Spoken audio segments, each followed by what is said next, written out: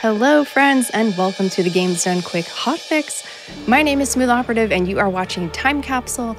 It is a show where we travel back in time to your favorite years in gaming and showcase awesome speedruns of games released in the same year. Tonight on the show, we are reliving some of our favorites from the year 2001 with games including Zone of the Enders, Luigi's Mansion, and later, Yu Gi Oh! The Duelists of Roses. So, listen, friends, we've got giant mechs, spooky mansions, and yes, we may even see a blue eyes white dragon tonight. But, as always, before we begin the fun, let's cover some announcements. First off, GDQ is headed back to PAX this year, and we sincerely hope you will join us at PAX East 2024. We will be holding a special speedrun marathon live at PAX East from March 21st through the 24th. So, to all of my speedrunners out there watching, Submissions are open from now through February 29th. You can use the command exclamation mark PAX in our Twitch chat for more information or go to paxeast.gamesdonequick.com to submit your runs. And don't forget to mark your calendars next month for March 3rd through the 10th because GDQ's Frame Fatales are back with the all women and femme speedrunning event we all know and love, Frost Fatales. And the schedule is now out, so you can use the command exclamation mark FF in Twitch chat for those links. Prize submissions are also open from now until February 28th. Go to gamesdonequick.com slash frame framefatales for more information. All right, that's all I have for you right now, so let's get this started, shall we? Our next runner just got a world record for Zone of the Enders, and I'm absolutely thrilled to introduce you to him. Please welcome the one, the only Plywood. Thank you very much, Tippy. Hi, everybody. that was that was that was great. Well done. Thank you. Welcome, Plywood. So happy to have you back. Tell tell us uh, the plan. Uh, brief us on the mission tonight. Right. So we are going to be speedrunning Zone of the Enders, which originally came out on PlayStation 2, fairly close to the launch of the console. Uh, this is a high-speed robot action game from Konami. Yes. With uh, production help from Hideo Kojima himself. Uh, and if you've never seen this game before, think of it sort of like a brawler, but uh, very fast paced with robots and lasers and kablooey in the future. Um, it's a very fun, quick game. Uh, if you've never seen this game before and you're interested in it, highly recommend giving it a go. You'll finish it in like a weekend, if that. It's very quick, as you'll see quick one. So we're going to be running any percent easy tonight. So we're going to be going as fast as possible on the lowest difficulty. Uh, I have all the records in this game. Been working on this game on and off for the past year and a half or so. So it's fun to come back to it every once in a while and see what we can improve on. And thankfully, we have some new strats for all of you tonight uh, getting in preparation for this run. So I can actually kind of thank Tippy for helping me get this world record because it got the creative juices flowing. So, oh, thank yeah, you. Thank you for having me. So, uh, we're going to be playing as Leo here, who is a scared boy in a war zone, essentially, that has uh, started on his colony. And uh, he finds himself in this incredible mech called Jehuty, and he has to deliver this mech off the colony out of the war zone to uh, essentially be part of the resistance against the uh, warring force, Bahram. It's the basic uh, gist of the plot. So, yeah, he's got work to do. He's got some work to do. We'll get it done in like under 20 minutes, uh, you know, give or take 20 ish minutes. All right. Well, whenever you are ready, Plywood. Okay. Run starts in three, two, one, go.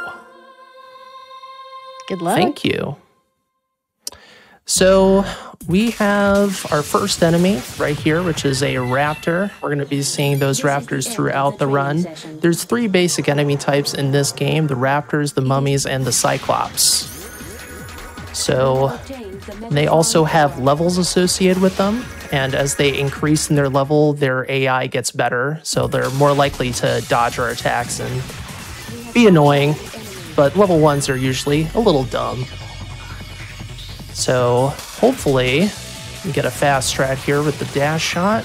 Nice. So nice finish on that mummy head with the shield. And we do our first boss fight. Throw Viola into the wall real quick, and we're out of there. So what you're going to see me do is approach these uh, these program spots. They're basically chests. We have to collect various things throughout the levels. That allowed us to use the main menu, by the way.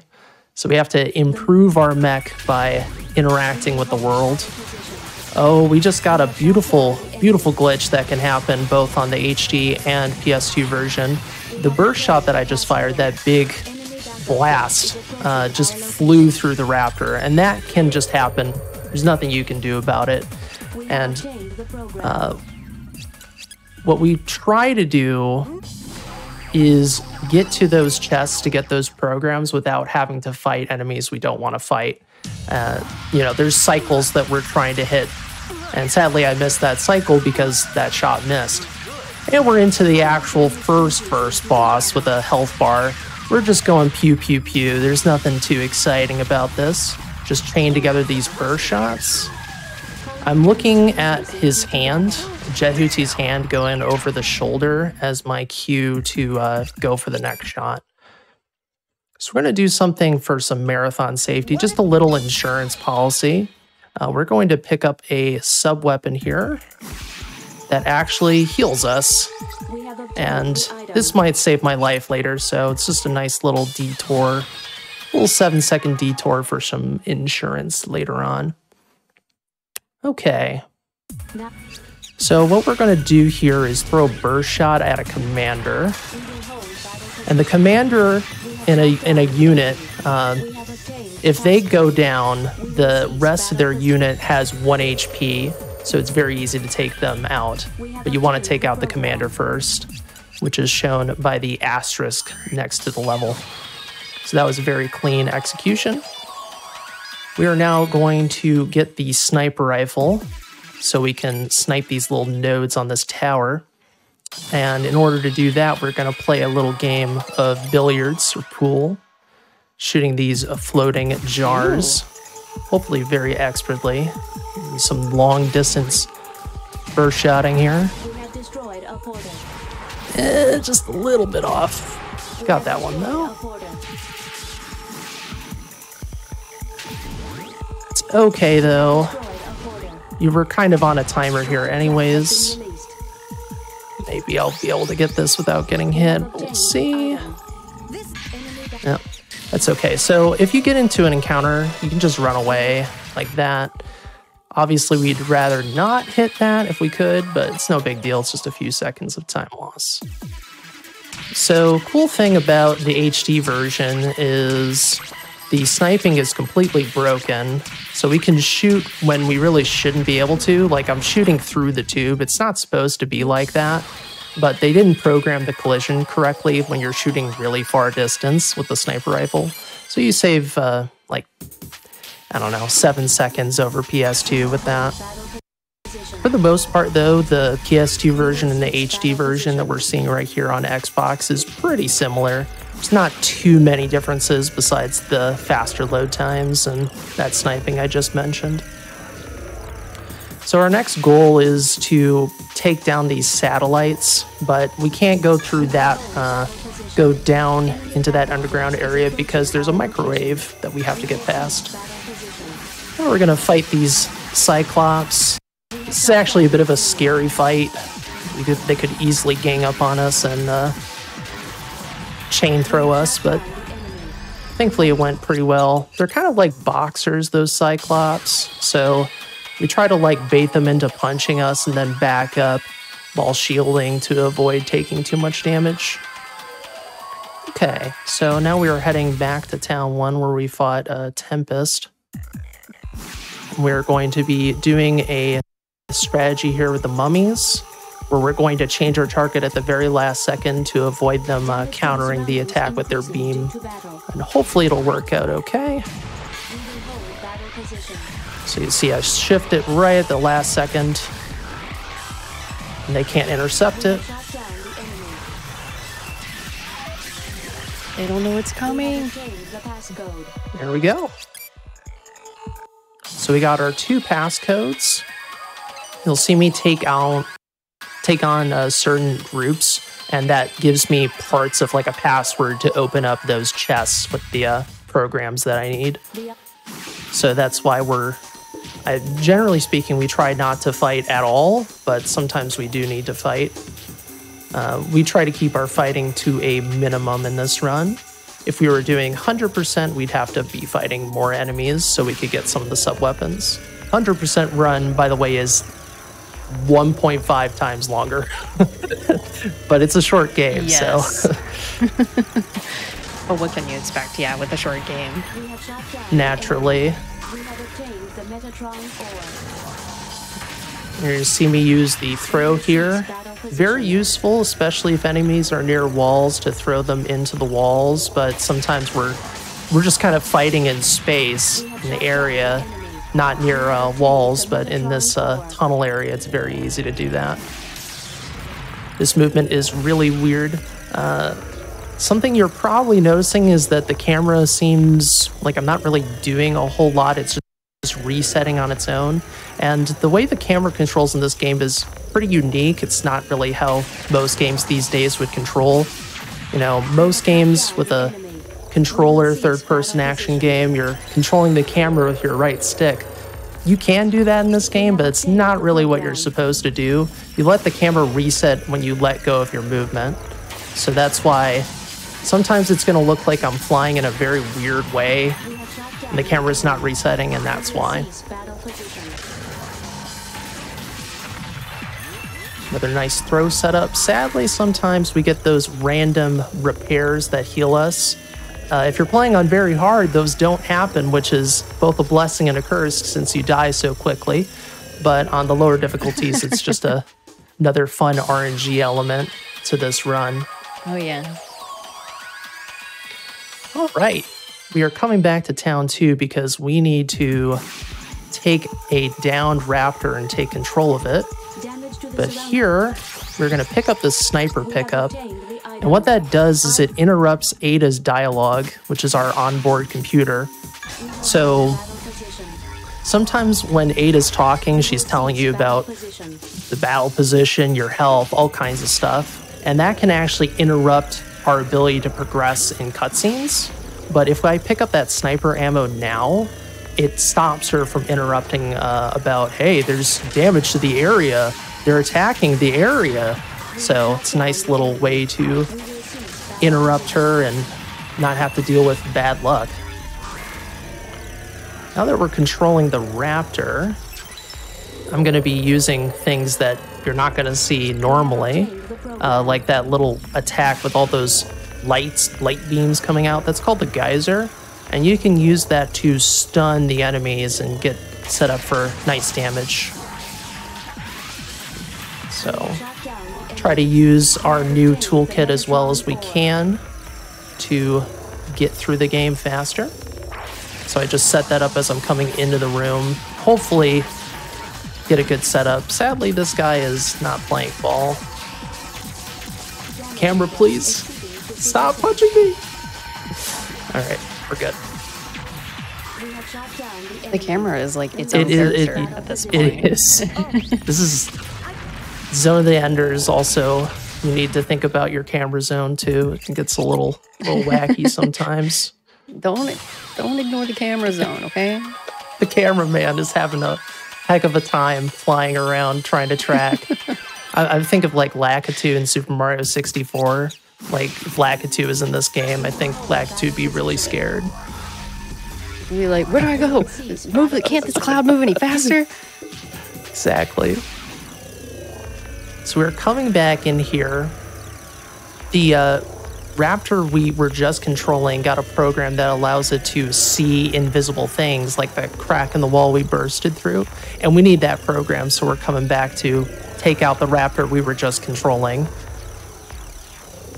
You know, it's like I taught you all you need to know, Raptor, and now as your master, I must I must destroy you to get my goods back. So got our detector, and now we are heading to the mountain, supposedly, but we're actually going to get shot down and get a virus on Jehuty. which will leave us with 1 HP until we cure the virus with a vaccine program. So that's fun. Gosh, where where do we pick up the vaccine program? I'm glad you asked. We're actually going to go where Jehuty was built on this colony to oh. get the vaccine program and hopefully not die with our 1 HP. Got to do that uh, factory reset. Exactly. Exactly. So we're going to snipe again. We need to snipe some porter jars instead of using our burst shot. So we just pace out our shots here. The auto aim is very forgiving, but you still need to be aiming generally at the target. And you really have to be careful that you do not snipe the groups because the auto aim could aim at the groups and then they're going to fly at you from, you know, a kilometer away. They will fly at you and try to attack you. So we really don't want to do that. Certainly not. Okay, very good. So that's that's the one fight we have to do while at 1 HP. And yes, that can kill you. It has killed runs on easy. It's no joke. But thankfully we are done with that. And we are going to pick up something that says unknown, and we will know what it is later, but this is ammo for something that we need to fight the next boss. We have obtained the item. Okay, so now You're going to City 2, and I'm going to be quiet for this banger of a song.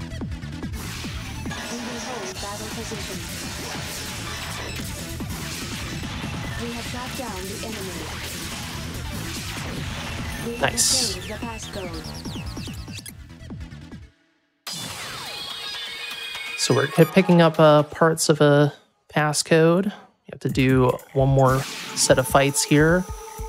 Hopefully, we do not get trolled this time with the burst shot. Hey, we didn't. That's great. Is approaching our That one didn't work. That's okay. We have shot down the enemy. So this is actually a place where you want the repair drop, the random repair drop, because then I could set myself up right by that group and get a uh, nice burst slash and hit them all at once. But you know, sometimes you just don't get the luck you need. That's just the nature of this game. That's okay though. We are now heading back to Factory 2 and we're going to get the uh, decoy program so we can use that ammo we picked up earlier. A lot of things happen real fast, folks. Gotta gotta keep up the pace. It's a, it's a fast-paced, high-octane game. We will see. We gotta make our Yeah, escape. we, you we don't have time to mess around. The surroundings increasing. We have obtained the passcode. Okay. Ada will try to keep you guys updated, but uh, We have shot I can only do so much. The level 5 raptors are very annoying. My general strategy is as I approach them is to do a shooty shooty pew pew pew and then uh, do a triple slash into a burst slash. And generally speaking you get good results with that but nothing is guaranteed in this game. There's better approaches and worse approaches but there's always going to be some amount of luck to most of these fights. All right so here's tyrant. We're supposed to use decoys to avoid this this uh, like light light beam attack that it does. But you don't need to do it for the first one, and we want to save our decoys because they are really really useful, as you will see later on. Phase two, get up on its arm, do two burst shots, and we're done. No problem. Nice. It's so satisfying watching the burst shot. It's like Boom! I know they made them less OP in, in the sequel because they're really br- like. You Oh, I didn't- see. That is just our bread and butter in this game. it's lit. Ugh, just dunking on those other mechs. Yeah, and the sequel, which is a fantastic game, um, you actually like you charge the burst shot to make it bigger and bigger, so that it does more damage. Oh. Rather than this game, it's just like max damage immediately. So decoys here are going to make all these enemies distracted. Uh, they last for about five seconds or until they destroy it, and uh, We have obtained the Metatron ore. and we're not gonna go for that. Um, It's going to be very useful against these enemies because they basically become defenseless, more or less, as long as they are focused on the uh, decoy. We have shot down the. Oh, don't don't dodge out of the way. Okay.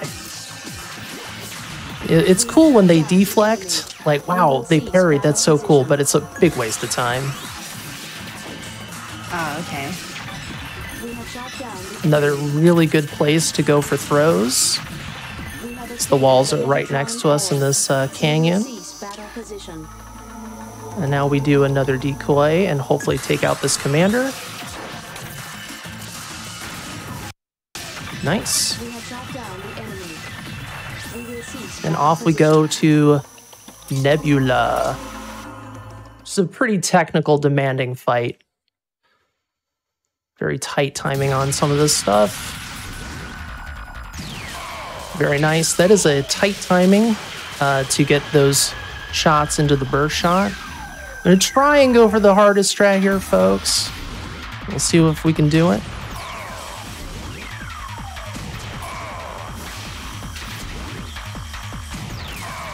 Perfect. That is the fastest you can do Oh, let's phase go. one. Let's go, plywood. Yes.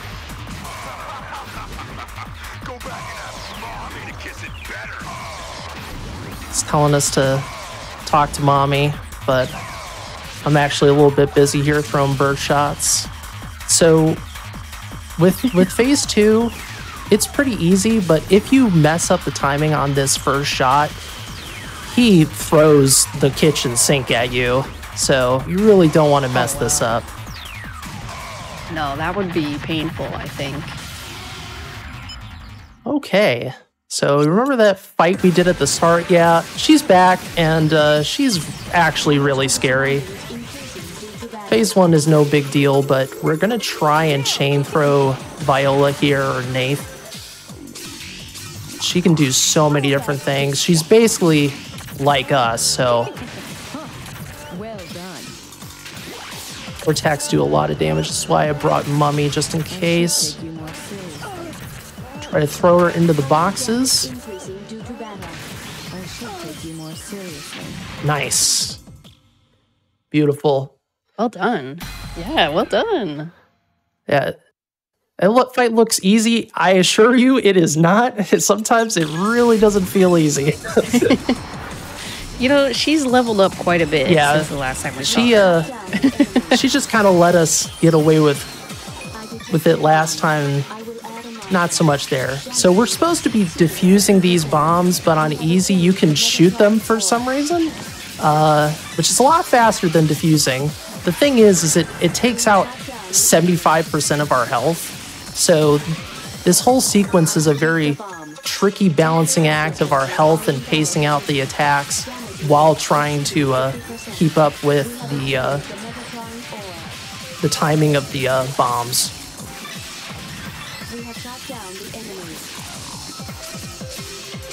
Okay, I'm gonna focus on.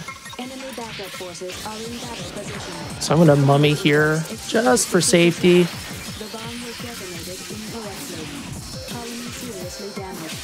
Okay,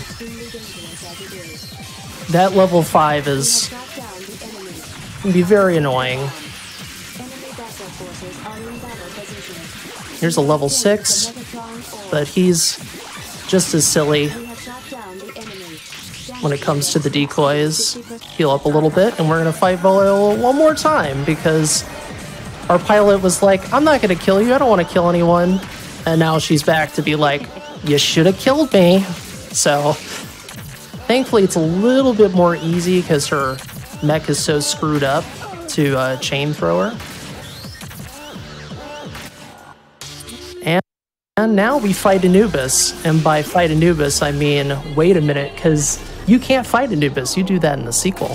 So this is actually the end of the At run. least you're good at running away. Wow. you're you're leaving us wanting more I know. plywood. When's the the Zone of the Enders 2 run, huh? That's a good question. That that is a very good question. But I see there's some really great Zone of the Ender two uh, Zone of the Ender two the second runner runners. That is a mouthful. Um, That is wow. It is. Um, but this game doesn't get as much love, and you know, I've been uh, having fun with just running through this game real fast. So maybe some point, but I have too much fun running I mean, this, enjoying the slot machine of Got, battles. Uh, time is coming up, by the watching this game. Yes, sure. indicating major damage. Time. Nice, GG. I was saying I love watching this game because somehow Zone of the Enders was a game I was exposed to uh, back back in 2001, and it just mesmerized me. So seeing you go through this plywood and just nailing everything, absolutely amazing to see. Thank you so much. Do you have any uh, shout outs, comments, anything you want to say? Yeah. Um, Yeah, yeah. So, want to uh, shout out some of my fellow Zone of the Enders one runners, Sephiroth Crescent and um Tapioca, who uh, helped me as I was starting this game, gave me a lot of uh, info from watching their runs and getting an idea of how this run goes. Of course, uh, shout out to Tippy for uh, having me do this run and uh, giving me a nice, Yes. fun incentive to come back and try to improve this run. Um, yeah, I uh, and thanks to everyone who's watching and all the people behind the scenes who help make uh, these streams possible. It really is only possible with the support of production and the viewership that shows like this can happen. So I really want to thank all of you for that. Of course. Um, absolutely. If you want to watch some of my world record runs, you can find me on YouTube, Plywood Gaming, and you can uh, check out my streams here occasionally happening on Twitch at forward slash plywood underscore. Uh, it's always fun running this game and being able to show it off. It's one of those games that is near and dear to nostalgia for me. I remember playing this and its sequel quite a bit as a kid. So uh, do check it out if you are ever interested. You can play it on uh, Xbox One or Series. You can't play the um, Zone the Enders one on PS5 or PS4, unfortunately. Only only Ah. the sequel. Um, you can't play it on PS3. We'll take but what we can get. it's the worst version, sadly. Um, sadly, sadly. We love our PS3s, but but yeah. Uh, thank you so much for having me. I really appreciate it. Of course. You know, um, for those of you who didn't know, Ply- Plywood's actually one of the first people I met in the speedrunning community. So having him here really meant a lot to me. Plywood, thank you so much for being here, seriously. Um, and uh, those of you watching, if you did enjoy the run, make sure you follow Plywood here on Twitch as well, uh, twitch.tv slash plywood underscore. Now, before we break, a big thank you to all of our wonderful supporters. Your subs, Prime Gaming subs, gift subs, and bits cheered here on the GDQ Twitch channel help support the Games Done Quick hotfix. So, if you do enjoy watching this show, Time Capsule, or any of our other hotfix shows, consider subscribing to the channel. Uh, you can learn more about everything hotfix at gamesdonequick.com slash hotfix. And uh, to my incredibly organized extroverts out there, Games Done Quick is looking for a new mainline event coordinator, volunteer coordinator. So if that position intrigues you, make sure to review the responsibilities and apply on our website at gamesdonequick.com slash jobs. Uh, again, Plywood, thank you so much for being here. We'll be right back.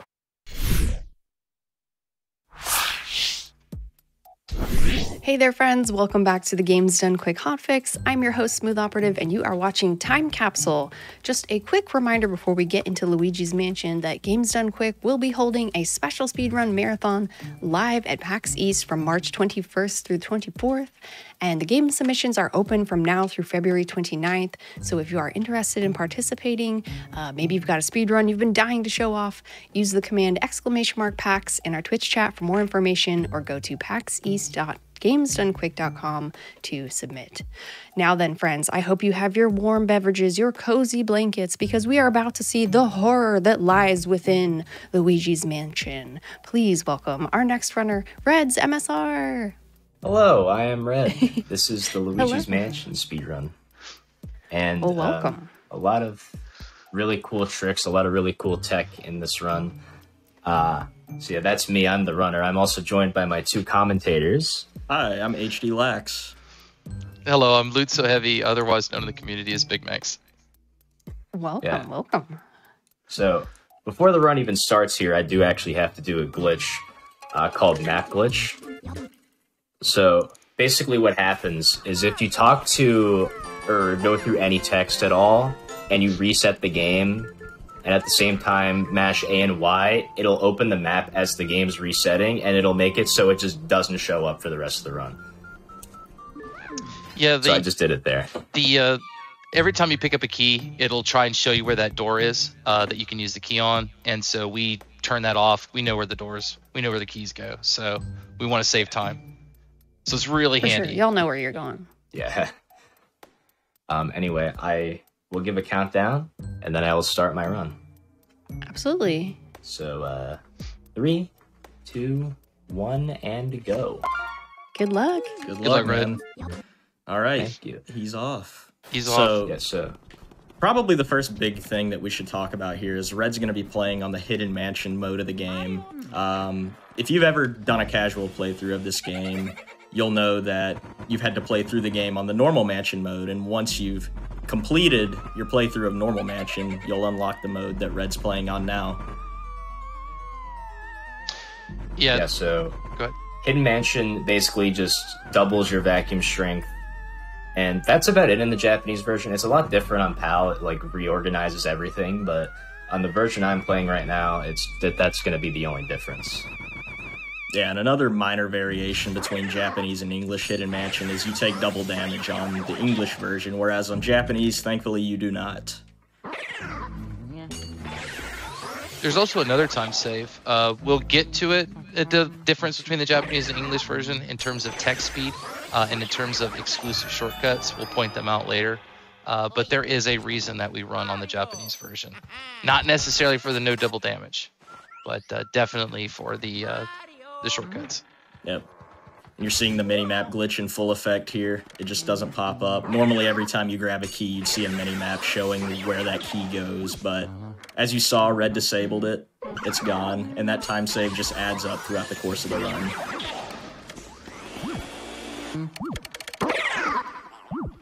Nothing too exciting here. He's going to do some minimal setups here, a double, a little bit of a wide turn here. It's the thing is with this game is everything looks sort of like oh he turned and flashed the ghost, but there's subtle nuances um, that you have to do. Otherwise, you might not flash both to ghosts. So it it looks a little easier than it is, but it's actually really tricky to do some of these doubles. And that was quite a wide double, so that was a really good anti-roll. Yep. And here he's collecting both of these gold ghosts separately. And the reason that we do that is the ghosts in this game spawn in waves, and the ghost that's inside of that left wardrobe actually does not affect the next wave spawning. It, it's actually initiated by the ghost on the right. So you suck up the ghost on the right, and you have just enough time to catch the ghost on the left before the next wave spawns. Yeah, so coming up now, um, we've only found basic ghosts so far, but coming now are the portrait ghosts. And these ghosts, you have to do or wait for a specific thing to capture them. So each ghost is going to have a specific strategy that I do for each one. You know, that's one thing that I think is very unique about this Luigi's Mansion iteration as compared to other LM games is just the portrait ghosts in this game just have such unique personalities and different strategies that you use to collect them. Yeah, there's there's a lot of lore. I mean, like when you play through the game the first time, you're not going to know how some of these interact or how you're supposed to um, get them to show their heart. And so you actually will use the Game Boy Horror, which we won't usually go into unless we're scanning something. Uh, but you'll scan the heart and it'll kind of tell you like a little hint. And so you're supposed to kind of figure it out. But it's it's really neat. That plus the vacuuming is really unique to this Luigi's Mansion. So I had to wait for Neville to yawn. You didn't really see him yawn there because um, I got him so quickly, but for this one I just have to pull the curtain and Lydia gets sad about the draft and I suck her up. Well, I mean, I'd be sad too. I mean, somebody's you know doing my hair. Somebody just Yeah. opens the window, cold air's coming in. Like I'd be upset Yeah, too. he- he Like, did- he did Next thing you know, um, you're in a He, vacuum. he Yeah, literally like says this- that they this created this, happened too mansion. quick. It's not even real, and they decided to put a broken window there. Like that's their fault. Anyway, coming up, this is a trick called Laser Crusader. Uh, the cutscene trigger that would normally play here does not actually extend on the left side of this room, so you can skip it if you hug this left wall and are up far enough. it's about two seconds, right, of a, of a little cutscene that'll play, hmm and uh, so we definitely don't want to do that. So shout outs to Laser Crusader. Anyway, Really cool trick. Upcoming is a really difficult trick that I really Mm. hope I get, but I might The not. dreaded. Oh, yeah, It's okay. Dreaded Chauncey one cycle. So, funnily enough, Laser Crusader was found like a week before. Uh, this next trick that Red's going to go for now, as he mentioned, Chauncey one cycle. Uh, up until recently, I want to say about a year ago, Chauncey was the only portrait ghost in the game that you could not one cycle, and it's by far the hardest one to do. So, what he's going to do here is he's going to lock onto Chauncey, and then he's going to listen for a specific audio cue. And when that audio cue plays, he's going to release the R trigger and repress it in about one to two frames. And ideally, he will regrab him. Well, we'll see if I get it. Good luck. You got this. Yeah, good luck. It is frame perfect. Ah, dang. I was a frame late. Yeah, so that just shows how tight of a trick that is to get. It's not easy by any means, but it saves Hey. 35 seconds when you do get it. Oh wow. Okay. Yeah, it's So so Chauncey's a brat. He is. Yeah, Bit of literally. brat. this is what makes the game i wouldn't say like painful but like it's a grind because this is area one it's the most run area and now you have this kind of wall um, for upper echelon runners and you kind of have to get good at chauncey one Right. cycle i mean it's it's make or break so most of the runners will just reset if they don't get it um, but there are ways to make it consistent it, it is a, a very difficult trick though shout outs to uh, glitch phd uh, for helping find that our our glitch doctor himself in the community. yeah, shout outs. I actually I meant to get hit by that rocking horse there, but I, I was a little bit too far left. So I had to do a slower ball catch setup, but overall not bad considering I didn't get Chauncey one cycle. It's probably important to mention um, that it does actually lose time to put Chauncey below 50 HP if you do normally do two cycles. So I actually lost more time there than I would have normally because I went for it and didn't get it. Yeah, and the reason for that is normally Chauncey would just throw two sets of rocking horses at you, but when you get him below 50 HP, he'll actually throw a third one at you, and that third one loses about three seconds. Uh, E- even though they're moving faster. shout out to Pike and Glitch PhD for the find That's on right, that. Pike. Really cool, really cool strat. That's all right. Mountain Oh, yeah. RNG's coming up. Now the real run begins. We're gonna get into some. it's okay. Don't worry. Eh. It's all good stuff. You're gonna have sick RNG. It's gonna start with uh, early release, right? We're all gonna have a great time. Not only that, he's going to get tech skip right after that. I'm Butley sure. Mouse will show up. the Butley whole- Mouse. Everybody will be there. He might even get kitchen and tea. Oh man. The money doesn't matter though. Uh, the no out of bounds version of this game, you can't go out of bounds. You can't beat it in six minutes like any percent. Uh, but you don't need to get a high rank that you would in 100%, and you don't need any money that you would in other categories, and only 40 boosts. So there are uh, some pretty lenient requirements. You don't have to get everything, but you do have to get pretty much all the way through the game. You have to beat it and unlock all the necessary rooms. Yeah, so this category just requires you to do the bare minimum without Nice. going out of bounds. Oh, that's a nice. That was a really nice double. that is not the way that we've been doing it. It's kind of a recent thing that they found. It saves about a second, and it's pretty easy to set up. They say, but it looks so cool. It- yeah, it's a really cool one. This is also going to be. Uh, this is not recent now, but it's still it's a few years old. But there's Shy Guy six piece. Oh yeah, the six piece is awesome. Saves about a second Flout. compared to the doubles, but it just looks so cool when you do it. He's intentionally going to hit that. This is all intentional and kind of corral him, and then he's going to do what we call There feathering the vacuum.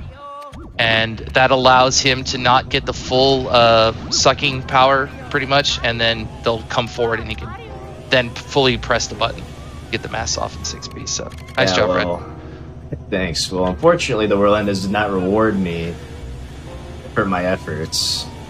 That's all right, okay. baby. We just get the bad RNG out of the way now. Right now, it's yeah. So those guys, they can show their heart either 10 seconds early or 10 seconds late. Um, and I got the uh, bad RNG. Unfortunately. Yeah, he did get the late cycle there, and unfortunately, there's nothing you can do to really remedy that. There's no setup for it. If you don't get early release, you just sort of have to eat that 10 second time loss. Um, something you might notice me doing is I'll pull out my uh, camera to uh, before a ghost spawns, and that actually Luigi's so distracted by the things on his Game Boy Horror that he doesn't even notice the ghosts are spawning, so he doesn't get scared. Yeah, normally, if he wasn't interacting with an object or looking through the Game Boy Horror, uh, the spawning of the ghosts would startle you for a second, and that's a time loss because you can't interact while you're startled. Uh, and so you do that. And then, obviously, another thing he did while he was at that corner of the wall and he started to run a little funny is there's a poster hiding a button there that he removed early uh, so that he doesn't have to do it now. And that saves quite a bit of time. Yeah, it's a few seconds to just kind of vacuum the the vac. It's just kind of vacuum it through the wall because there's normally a poster with a boo behind it.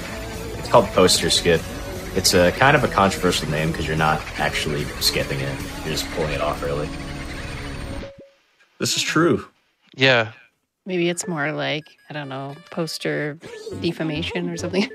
Yeah, like That- it's That's a good way of putting Just it. vandalizing the mansion. yeah, Yep. you vandals. Wow. now he's just released all the boos, which is actually not a good thing. But we so have to do it to progress the game. Yeah, so welcome Yep. to the things that have ruined my life the past five years. The boos. Oh my God. This is an average Luigi's Mansion runner's worst night. if. I get this, Boos. shout out to Jared's Giants, because this is this manipulation. Oh my. Oh man, shout outs to Jared. It's like I was saying, we're just getting the bad RNG out of the way now. That's what I'm saying. I mean, I got worst possible RNG with the text. But that's skip, and okay. It's still skip. text skip. It's still text skip. We take it. Bam. All right, HD, explain tech skip, why that's so important, and how many times we're going to see it throughout this run. Yeah, so I believe we're going to see tech skip. Ideally, we'll see it three times throughout the run. You're going to see him do it in Lydia's room when he goes back there, and as well as laundry room, but that one's a little difficult. And maybe, if we're lucky, kitchen, Breaker too. He's he's a guru as it. well as breaker. Yeah, so more than I thought. Five But- total times, ideally. Probably explain our pumping as well. Well, hang on. We got to explain text We- we gotta skip. Playing text skip first. text. Yeah, I'm why it sorry, I'm so works. So- focused in right now. Uh, it's hard to pay attention to both at one time.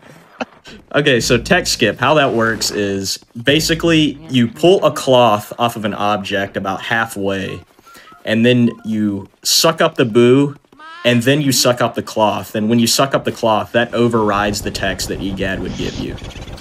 So it's particularly important for you to get it on that first boo because EGAD sort of explains how you can save the game with the boos, and it's just a lot of dialogue there. So thankfully, he got it on that first boo. The vacuum register is like the last thing. So the last Yeah. thing's the cloth. It doesn't think you have a boo, and we just continue on normally. It's Yeah. awesome when when you can do it and set it up. It's awesome, especially in that room. And unfortunately, it doesn't work on things like gems and elements, but it does on cloths. Yeah, so something I'm doing on each boo is I'm doing a thing called R pumping, and I'm, oh, I'm pretty bad at explaining it, so I'll let I'll let them do it. Oh, this is for you, Big Max. Oh, okay. That means he's gonna the toilet knock. intentionally lose time by not vacuuming the toilet and knocking it. But we we talk about this. I don't think anybody in their right mind runs into the restroom and opens the lid up by taking their vacuum out. And like, I don't think that's just not how you usually do it. I'm not gonna lie, you know. So, thank you for knocking on the toilet.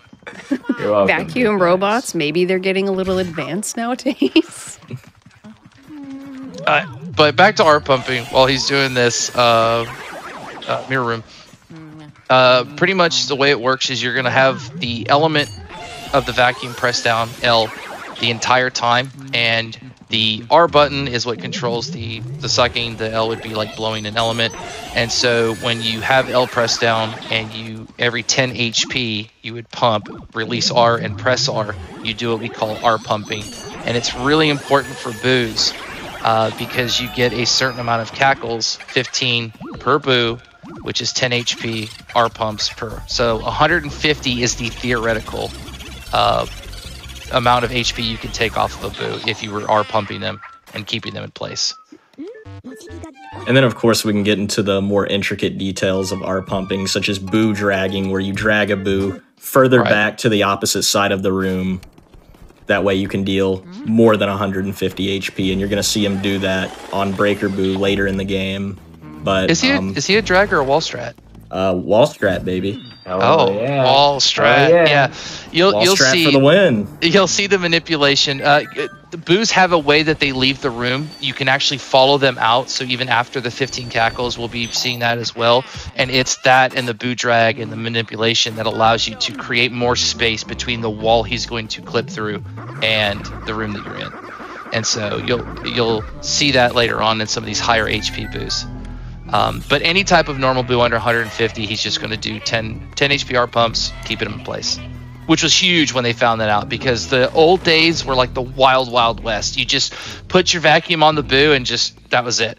There was no R pumping, it didn't exist. Yeah, and that was back in the old days of speed running. I actually Oh, started yeah. running at the tail end of that, so I got to experience it just a little bit, and then thankfully R pumping was found, just made the game ten times better. What kind of skip is he going to do here with the hat? He's like, you know, he's going to skip the chest spawning, right? Yes, Hopefully. because that gives him time to open up the chest and then activate the mouse hole. I got it. Yeah, I also did stuff. something where I, I grabbed the fire medallion and at the same time I saved and then reset the game, so I skipped a bunch of text doing that. Yeah, not only that, that resets the cycle of the ghost that he's sucking up right now, the butler. Because usually he's walking back and forth down that hallway, and when you reset and you go down the hallway to actually light his candles, uh, he's actually right at the beginning of the hallway there. We And call just it so butler happens cycle. to work out. Yes. That's how you know you got a good butler. So now you're seeing him do the first Japanese exclusive trick, uh, mouse hole tech skip.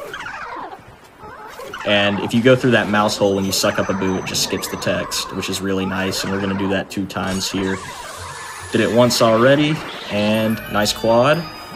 Nice. That's trickier than it looks because you're having to juggle the other three that are trying to hit you, and he intentionally got hit to give himself iframes because Luigi blinks when he gets hit. He gives you guys uh, give it you get time so you can't get hit again, and he was using that to not get um, the bats uh, to, to clear the bats. hmm And we just saw two tech skips. Let's see if we can see a third one here. Oh man, Michael, get ready to wake up. Oh man. Oh, man. It was Oh, kind of weird because he's spawned Michael's still behind me. sleeping. He's still sleeping. Th- this is a hard tech skip. He has to grab that cloth, uh, one of the cloths, usually the one on the left, before the boo is at zero HP, pretty much, and it's it's tight. But you can tech skip in there, it launches your boo tech skip, and uh, it's a cool one. Yeah, um, I probably would have had that, but I had a really weird angle with the vacuum because it's, you can actually block the boo spawning if you stand in a really specific spot, and it'll spawn early, and I wasn't really ready for that. It's water thing, by the way. HG, I'm calling it Five frames of time. I'm inclined by to agree. frame. five five Water. frames.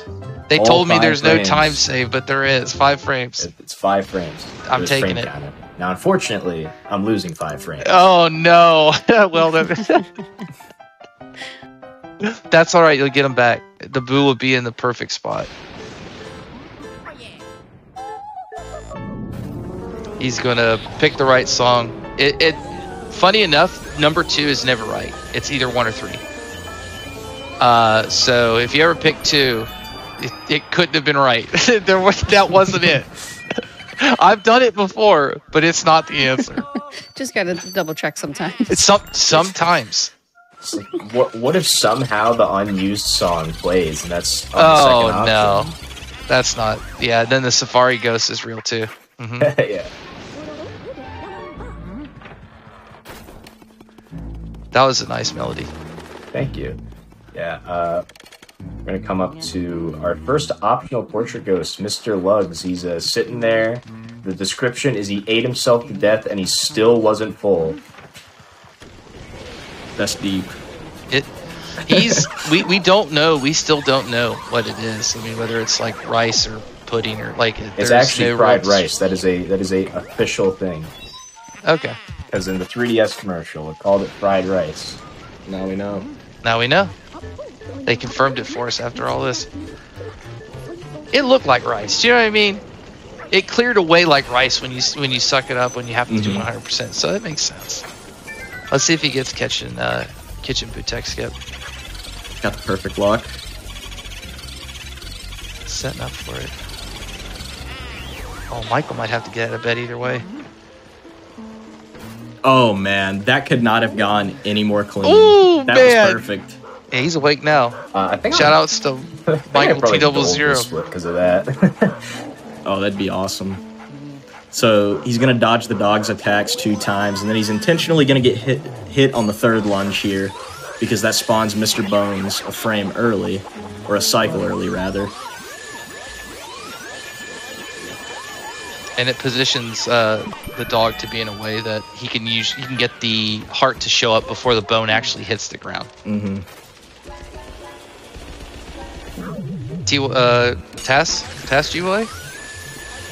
Oh yeah. Nice. Real runner here. Nice. He's going fast, boys. That's that's a really fun double. Uh it's not this one's not as hard as it looks. It's actually pretty easy. Uh and it, it does save some some some solid time. I'm gonna go for something here called the. Oh, I Sorry I was I was hoping you were gonna do If this. you You're gonna C intentionally right, manipulate. there's like a slight chance he'll spawn right next to you. he usually doesn't, but he might. Who knows? I thought his spawn was based on how early or how late you tap the C stick, and that dictates where he spawns. I have no So, like, if you wait too long to tap C stick, he'll spawn further We're away about to find you. out. Uh, mean, I held- assume he's held been holding it C-stick the right, whole like, time, really right? Late into the thing, so we'll find out if that's true right now. Uh, oh. Might be. All right, He did it wrong. Getting kind of close. I Yeah. I like how I like how I could hear it before I could see the like just slightly before I could see where he spawned. And, uh, if it was done correctly, he would have been directly to the left, like in a very short distance to the left. Um, oh, okay, okay. we we actually have a practice thing that we play on sometimes that puts him in that spot, um, and that's like the the fastest way. The the task will do it that way, but not this time. I still think it was fun. You went for it, right? Yeah, I mean, yeah, what I is had that? That's, to. that's two seconds, if that. And that was area two. That's pretty much how fast some of these bosses go. Uh, casually, Bogmire's probably a, a a tough boss. His pull is really really strong. You have to have really precise um, pumps, uh, not the R pumps, but the actual C stick pumps. I guess we should probably explain that. That the way that you vacuum in this game is not like any of the other LMs if you played it, where uh, you're doing some kind of uh, a mashing or charging it up. It's directional, and so wherever the ghost is moving, you need to pull in the opposite direction.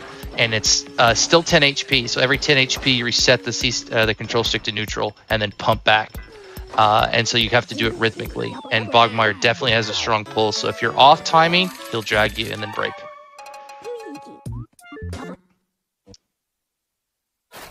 So now we're on to area three, which, in my personal opinion, is the most difficult area. I think so, especially Yeah. for no out of bounds, right? Like I think this is kind of the the, the pace setting. I think usually good area threes carry into good area fours, um, but Yeah, I area mean, this- three is This area in particular is just extremely RNG heavy. a lot Like of you have to do a, you have to do a lot of backtracking in this area just to go after some boos that you're missing. Oh man, I'm gonna go for what I call the best strat in the game and save ah, half here a we second. go. Stumble skip. Old I did stumble not skip. get it, unfortunately. He did not get it. Eh, that is one of the dumbest strats in the game. We don't really know how it works, but you can skip Luigi stumbling at the bottom if you pull out water and get scared as you fall. And sometimes, if you're lucky, it might work. And you lose half a second if you miss it. there's Mario. Oh, yeah, there's Mario. sometimes if Oh, you're hi. lucky, it might work. Yeah, Yeah, this see, is Luigi crazy. looks They don't right now, but it, and on the inside, he's like, "Yeah, finally." they, they don't give you a whole lot of backstory. Granted, we've been spamming through it, but you get a mansion, you get here, there's ghosts in here, and your brother's missing, That's and so now you get to figure it out. Happens. it just gets thrown in there. Yeah, You get- it and I'm not throws it in joking. That's not like a TLDR. That's literally what it is. You show up, you're like, I want a mansion. Um, That's in- in crazy. manual Where's the my brother? It says that he won a mansion in a contest he never entered. So I just picture he got one of those like scam calls that, that says he won a mansion. He fell for it. Oh, dang. So yeah, Mario's trap. Uh, and there's uh, there's a, a boo with a crown in front of him. That's all we know. Mario should have read the fine print, you know? Yeah, literally. They should have waited and went together, but that's Yeah. that like horror movie trope where you got to go alone and then like, well, what Uh-huh. happened? Well, you you guys went alone. what do you mean what happened? But it's okay. Luigi's here to save the day, and that's what's cool about it. So Red Set- just set up a tech skip there. Um, as he was flipping on that flip pad there, he grabbed the tablecloth and pulled it off about halfway. So now he's going to get the final medallion here, and then he's going to get the boo, I or he's going to get the boo first. Okay, he's going to get him second. I should have searched the bucket, but it's kind of hard to react to that. It's He's gonna switch out of there now. Mm-hmm. Now watch. He's gonna be in the left side, and I can't get the tech skip anymore. just dragon. yeah, Oh, so no. something we should mention is that boo switches in this game are on a global timer, so they'll always switch at the same time every time. happens when you enter the mansion that it uh, Mm-hmm. that the timer starts. I have to do it. You can get it. Nice. He did it.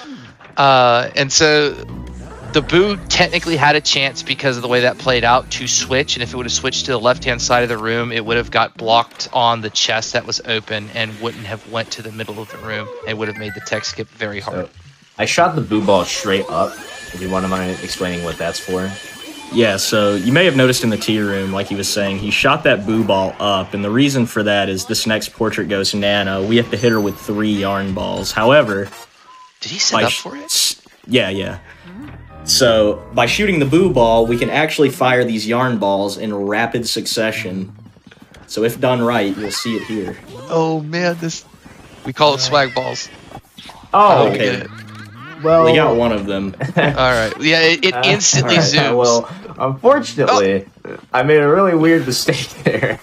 It's okay. Uh, Alright, if you I'll- hit all- if you hit I'll- one of the balls, yarn balls anywhere other than Nana, uh, she cackles and resets. And you have to go Congrats to everyone watching. You saw my worst Nana ever.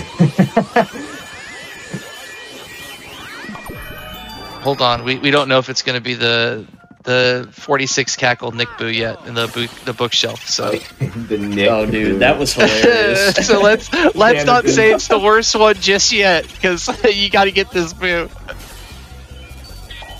Oh, I might. I'm in quite the situation here. oh no.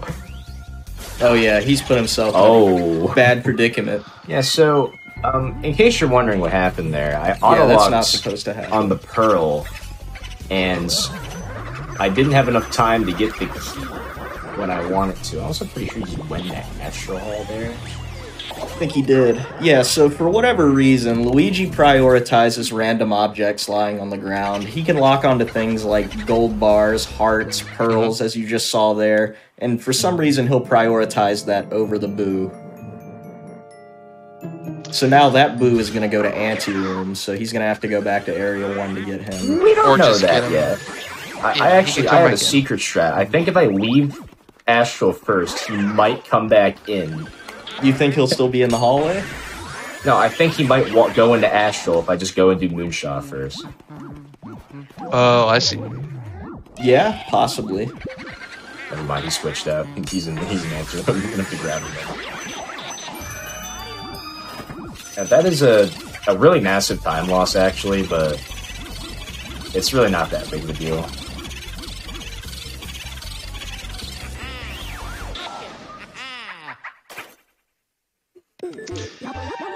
Good old auto lock. Well, I mean, look, coins are important, bills are important, hearts are important. The ghosts not so important Luigi. Yep. He, he's Even got his you priority. need them to finish the game. He's got his priorities straight. I'm telling you. Longevity, get a little money.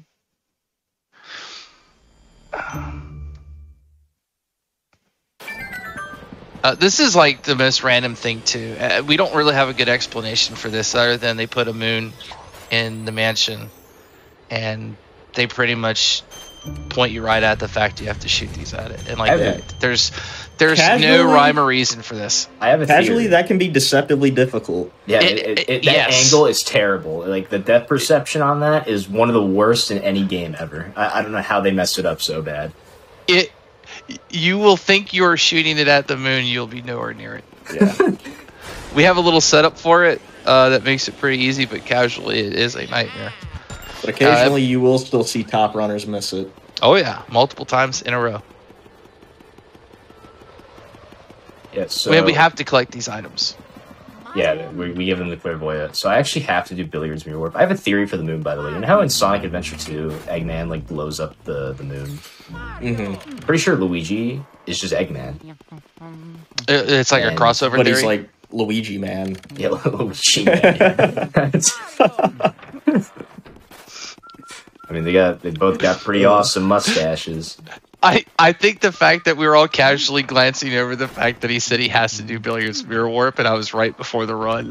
like No, are yeah, gonna- you called like like do you know it's so crazy as I said, Red, you just gotta go in here and do billiards mirror warp because nobody is gonna want to see it. And you know what? He listened. And and he somehow Yeah. made it happen. that makes me think that that choke on that boo was intentional. He's Oh, doing yeah. this on Well, purpose. Don't don't Oh, don't bring man. out my secret plan here. Not the secret Plan not the secret plan. Plan Z was coming Plan out. Z. what we're what we're getting all worked up about is there is a faster way of uh, collecting this item in this room and the boo at the same time pretty much and getting what we call funny text doing this whole save warp thing but if he save warps he'll reset the boo back in Anana's room at 100 hp and you don't necessarily want to go find that boo uh, again back in Nana's room so Yeah. the And- routing wise kind of the whole gag with this save warp here is doing billiards mirror warp instead of doing the save warp is like a very bad sin. That's just Yeah, kind of like the joke that we've come up with Yeah, for that. It's like a faux pas. It's a Luigi. uh, You just don't do it. And here like, it is. Don't th- th- there's a someone put once like pro tip. There's a mirror in Sapphire room. You should use it. And then Pablo responded with, "There's a pro tip. There's a mirror in in, in the uh, billiards room. Do not use it." All right, let's see what this boo is. Oh, yeah. The good news is you did not have to get fire again. Yeah, I, I'm not going to have to. I probably will Yeah. anyway, because likely I'm gonna run out. There he is. So not a massive time loss, but still kind of annoying. Huh. That's an odd number of boos. What happens at 15 HD? Oh no. Well, the worst thing ever happens after you collect 15 boos. And that's when EGAD's, the length of the text that he can give you after collecting a boo is completely random, and it can vary from about a half a second long to about five to six seconds, just depending on how fast you mash. Yeah. It happens right after 15, and you can start getting the dreaded what we call Van Gore text, which is EGAD tries to warn you about a person, a ghost that's creating all the ghosts, painting them. And uh, he can tell you that multiple times Yeah, he in can a tell row. you that multiple times as if you're gonna forget. But we never forget, because that long text, it adds up, man. Oh, it adds up. That's Yeah. kind of why we talked about Area 3 being that pace setting. It, it- there, the boo text, especially in this, you're going back to back to back boos. It can add up if you just keep getting the long text. Uh, right now he's doing twins, and uh, they they play game up for a hide and seek. here. Yeah, yeah, it's, it's going to be a twins double. This is a good setup for a double here. Usually we take the uh, car guy out and then drop plane dude, but it's a little harder to take the plane, you know, off first in the car, and that's what we call the double. Yeah, you was, need to uh, set it up that good way, though. That was a really good twist. Yeah, um, It was. Don't mind the fact that Boo left. That doesn't actually lose like any time. it's just Yeah. kind of it's just kind of weird. Something interesting to note is you actually can't collect boos in dark rooms. However, you can in lit hallways. So if a boo escapes into a dark hallway, you're gonna have to lead him back into a lit room so you can catch him. But thankfully, this is already lit up, so really, it, it doesn't save any times or lose any time to. Yeah, so something that's interesting is that um, the Boo radar. I'm using that to kind of know where the um, where the boos are as I enter these rooms, and that the the Boo radar actually changes um, if you get that Boo in that hallway because the direction that Luigi's facing is stored as you enter a door. So it will be slightly different because normally you'd be running straight left, so it would flash red for the painting, but it's going to flash yellow for the painting instead because I'm facing away from it as I enter. Who's gonna set up for another tech skip here? This one is probably the freest one that you can go for, so this should be guaranteed no matter what. Don't say that. Not, not best spawn ever though. That I been just have that much was- confidence in you. Thank you. Oh, you. this is easy tech skip. And then boom, nice, nice work. Thank you. Now we're coming to uh, pretty much the intermission, like the slight intermission that everybody else has if they want to go running, like use the restroom, get a drink of water. Uh, Yeah. He's going to mash through text for the next minute and a half. hmm And it's not going to be a good time for him. It No, hurts th- his fingers are gonna hurt. It hurts Yeah. the wrist.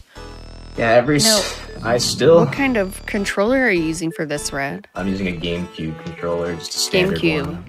Okay, yeah, the standard for this. The one I used to play this game for the first time, actually, as a matter of fact. Oh, Oh, it's wow. a, it's a relic. the re- yeah. Yeah. bringing To out be the fair, relic. I Frankensteined it together to make it usable, but it is the one I used. Oh, we're gonna have to get a picture after the show. well, uh, well, it looks normal. It's just that, like, um, since I was born after this game, I was handed down this game as a kid. oh my gosh. So, um, the controller I got was terrible. It had the rubber chewed off. Oh no. and it also the Y button was always sticky. So when when my old controller broke, I had this one, and I had to take it apart and like clean the entire thing, and it took forever. But it is it is a decent controller now.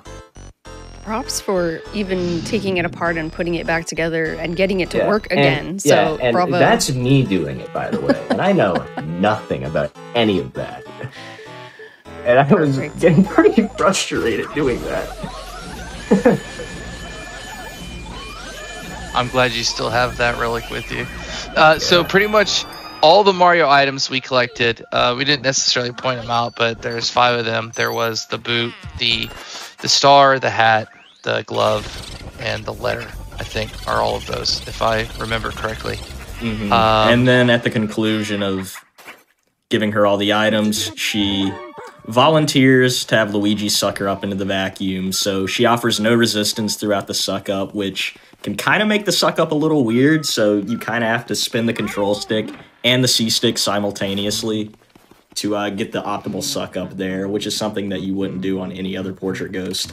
Yeah, again, part of that whole uniqueness, every portrait ghost pulls different, um, kind of has a different lore to it. It's it's really really cool. Uh, it's one of the things that I really like about this game. And there's what, 23 of them?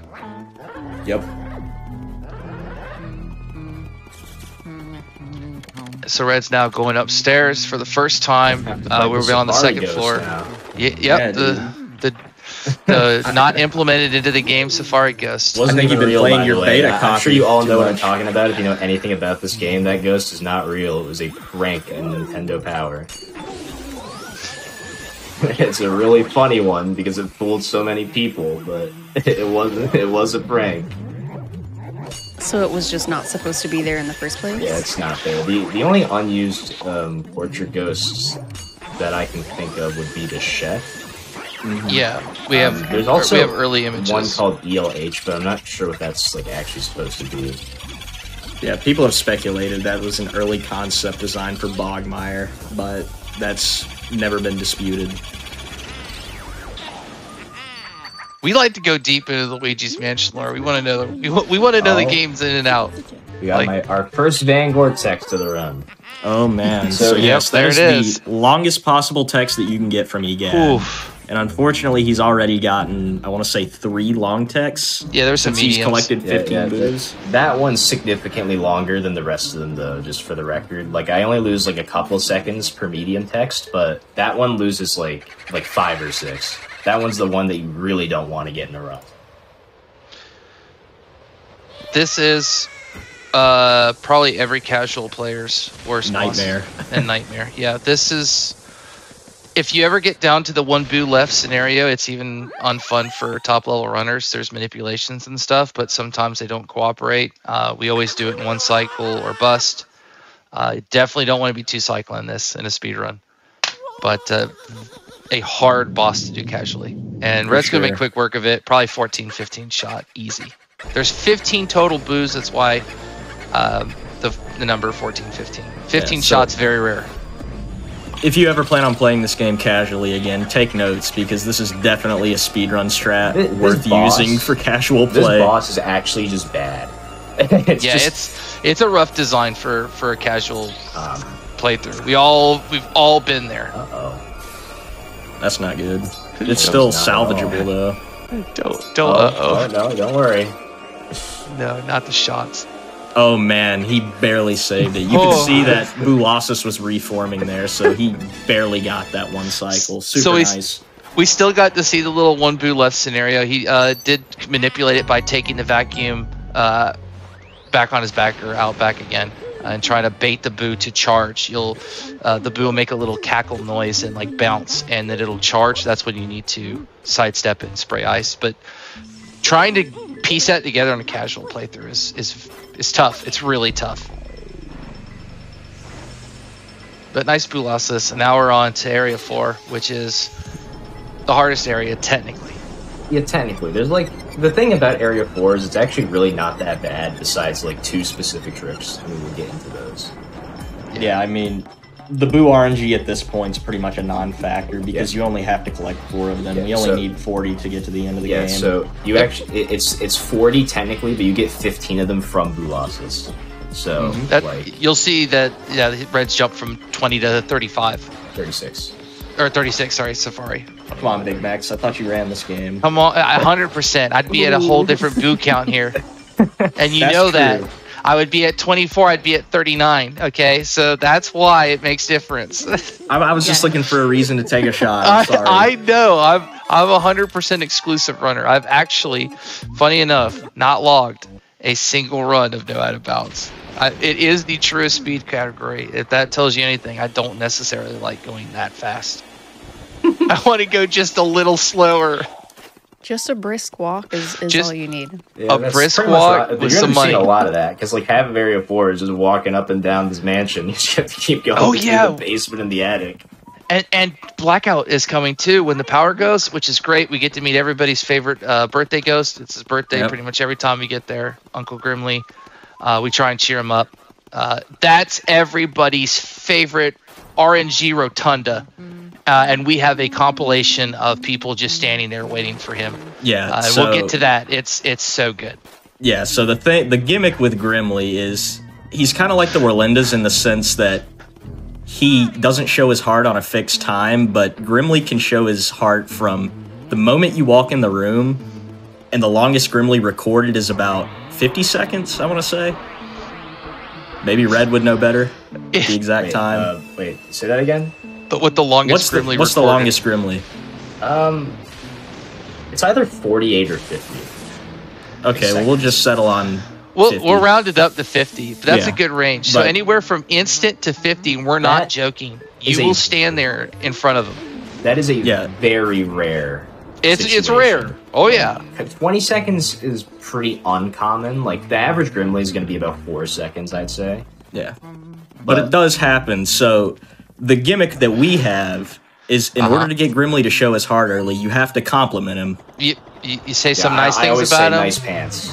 We say you're looking great today, Uncle Grimly. Happy birthday. Hope you're having and more enough. Usually works out. Oh, a Pythagoras skip, right? I don't know how to explain this. Somebody's gonna have to explain the right angle. There's no the explaining. thing. It's just done. Okay. It's just You done. just do it. you just There it do. So, he pythagged. He did a right So, angle. Grimly, you got some Grimly. nice pants there. Nice shoes, Grimly. Happy birthday, Grimly! there we go. See, it works every time. not bad, not bad. But you'll have runs where I'm not joking. People are just sitting there, kind of like smiling. You almost have to laugh about it because that's there's nothing you can do. You cannot do anything other than wait for him to show his heart. But Grimly was kind. We like it. And we have to do this ghost because he's holding the key to turn the power back on, and you do not want to be playing this game. Yeah. Um, So, funny trivia about Grimly before I do Breaker Boo here. Um, the hint is that he he's in a room that that he likes mirrors. So, yeah, you can take that as you will. It's weird though because they say that he, he's in a room that's dark that he, that likes mirror. There's mirrors, but why wouldn't he be in mirror room then? You know what I mean? Like it doesn't make any sense.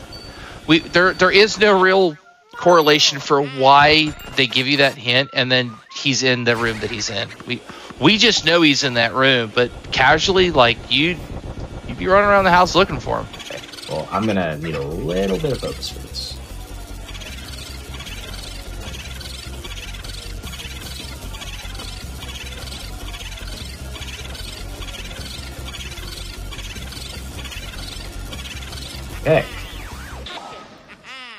You can explain Nice how job. that works. Yeah, so earlier in the run, I mentioned boo dragging, kind of going hand in hand with R pumping. Um, so to touch a little bit more on that, you can actually drag the boo, as you saw Red do there, um, and you can prolong your R pump. So rather than doing it every 10 HP, you can do it every 11 or 12. So you just gradually gain more HP off the boo, and then in turn, you could probably get an extra pump out of him. So that just allows us to one cycle that 200 HP boo. Yeah, and that uh, without a charge either. Yeah, which From is the middle super of the room. impressive. Trust me, that's a lot harder than it looks. way hard. Probably like I mean, you ranking him obviously. Chauncey one cycle getting consistent, then King Boo, and then it's Breaker Boo one cycle in terms of like your top three check marks of that upper echelon. Like you got to be able to one cycle Breaker Boo, and it is a hard Yeah. trick to do. Big shout. There are two ways to do it. I did the uh, wall strat, which is slightly slower, but it's a little bit easier. Shout out to my wall strat gang. You know, HD's in here right now. He also Rise does up. wall Wall, strat. wall strat, yeah. There's there's a split uh, between the drag and the wall strat. I think the drag looks really neat, but I can understand there's a lot of movement, a lot more, um, a lot more room to for error. But it looks so cool because you can literally manipulate the boo across the entire room. Any wall stratters in the chat? Yeah, if there's any, I, I have this. I Uh, have there's chat definitely wall stratters. You you know you know that there's so many LM runners watching it, and they're all they're all like, I'm a wall strat, I'm a wall strat. Yeah, I don't there- do breaker boot one cycle, so I, I don't fall in either one. There is so. um, an alternate strat where you don't do breaker boo at all, and you just do Vanguard boo, which is the standard route. But people who are at like 56 and above usually grab breaker boo.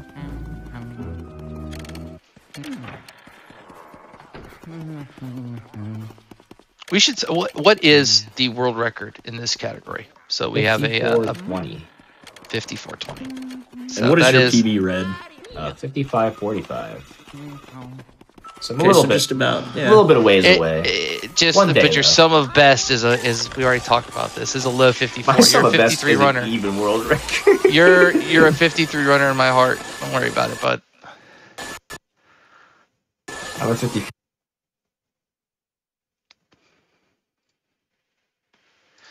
Uh, the, the clockwork gimmick here isn't too unobvious. It's just the uh the little windies. That was kind of scary. Uh oh. Okay. I was wondering if that was us or you. Um, Um, I But- think I think we're good now. Yeah, we might have had a small hiccup in the broadcast, but uh, sit tight, friends. We're working on it. Okay. Oh, Did you get Toy Soldier double at least? I did. Dang, and they don't even get to see it. I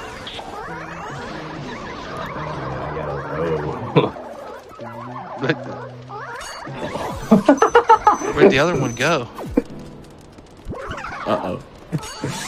All right, so these guys are the bane of my existence now. That oh, th- now, right? Just I'm gonna right have to now. Right have now. fun talking to That- to those to get Gonna a have- Slater I, yeah, I hope that you can iron it out with them. Because you know.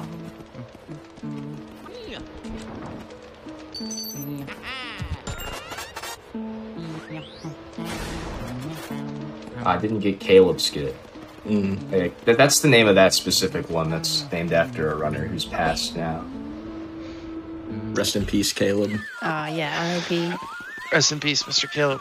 Yeah, but it's named Well, after we always go for it. Yeah, we always go for it, and we always have to pop off when we get it because that's what he would do.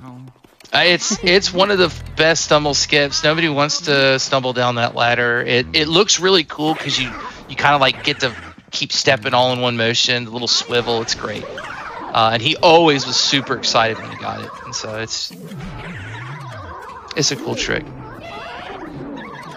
Is this five piece? I have a Oh, he's going for Oh it. yeah, well, I- Kind of botched it, but yeah, maybe. I, I'm, That's actually really. That's probably still faster than the, the triple by a little bit. I mean, honest. It was a really good recovery, though. Yeah, it was a good recovery. I'm actually kind of impressed with myself. I'm gonna go look back at that later. That The uh, the, the chances of those could have despawned were were um were pretty high. I mean, after you Yeah. shook the ghost off, so that was great. Let's go. He got perfect RNG here. And that typically doesn't happen in this room. It's very rare that you'll see that boo right there in that armor statue right next to the chest, but it's so fast when he is. It, you get to bait the charge instantly. This boo has a, uh, a high chance of charging, really high chance, if not guaranteed. It's although I don't want to say that. Yeah, it's 'cause- guaranteed. well, okay, that I'm standing It's- too it's far away from it. That's what I was gonna say. it's just certain boos as can and or can't. That's just how it is. And that armory room that he was just in, it's by far the laggiest room in the game. So you have a high risk of dropping inputs when going for that boost suck up, and he already has 150 HP as is. So so your cackles already have to be perfect. So Yeah, there's just a lot do, that can go wrong there. you do them by that same feel of like a normal room at 10 HP, and you might be a little too fast, and so it you have to kind of really monitor the uh, the pumps. But he did a great job, and uh, Armin Boo is definitely one of the uh, the other trickier boos, and I'd say it's Weston Boo. Yeah, in, I, the, no out of bounds category. I'd say the best way to remedy that armory boost situation and reduce the possibility of dropping an input is to just release R and repress it all the way. Yeah, take that extra time. It's worth it. Now he, uh, you'll note he won't clear the room. Just gonna get the chest with the key. Um, there's no reason to. Um, Red's a professional. Some Uh, people would clear this room. Some people who specifically run only 100% might. Well, I was Like gonna Mr. say Big unless Mac's you're here. unless you're worried that you're gonna lose Weston Boo up top. That's what I was getting at. Oh no, yeah, yeah. But that's why I said you're a professional. No, But yeah, now Red's coming up to what I believe to be the hardest portrait ghost in the game, excluding area bosses, of course, Weston. And the reason is is because of these ice physics and the icicles that can potentially hit you. That Um, was they just really good though. wow, he got that yeah, was he got a him in really the campsite. up. But sometimes it can go wrong. But Red just made easy work of it. The floor makes it really slippery. We already talked about how you have to pull in the opposite direction, and so since you're fighting for control pretty much with the ghost, the floor isn't helping you, uh, and so you'll see top runners every once in a while still drop Weston. It's uh, it's the floor. Yeah, and this boo is double cackling for Red, so I don't believe that this is going to be a one cycle here. Yeah, that was unfortunate. I, okay, I pushed up. him up as he spawned, so it was a really awkward uh, thing. Not that much time lost though. No, it went out right back in. But again, the floor plus the fact that the the double cackle, and that can be due to a couple of things: the angle of the vacuum, how close you are to the boo, how far away you are. Um, and so the floor is slippery. You're trying to get your footing. You're trying to grab the boo. It's a recipe for disaster. And that's what makes that boo challenging. But now he's got all 40. So yeah, no more got all boos. 40. No more booze. so now it. he's he's he's on his way up to Van Gore now, the person who is responsible for creating all the normal ghosts that we see in the mansion.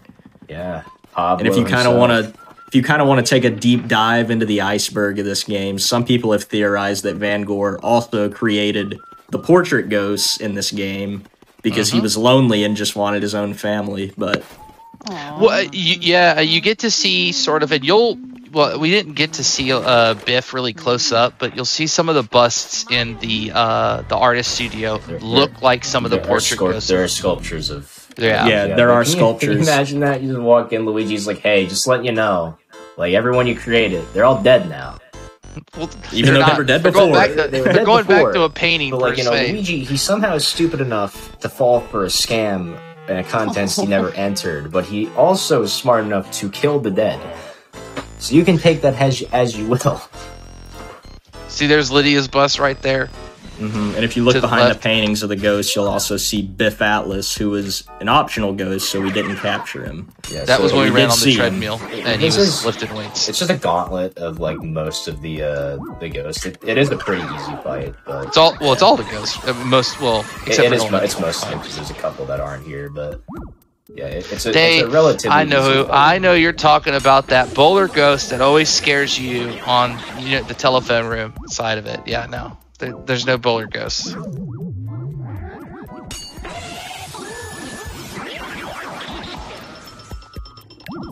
Nice. That was really really Yeah, fast triple there. Some go for instas there, but it's a little risky. That was Yeah. still that's all I like to do.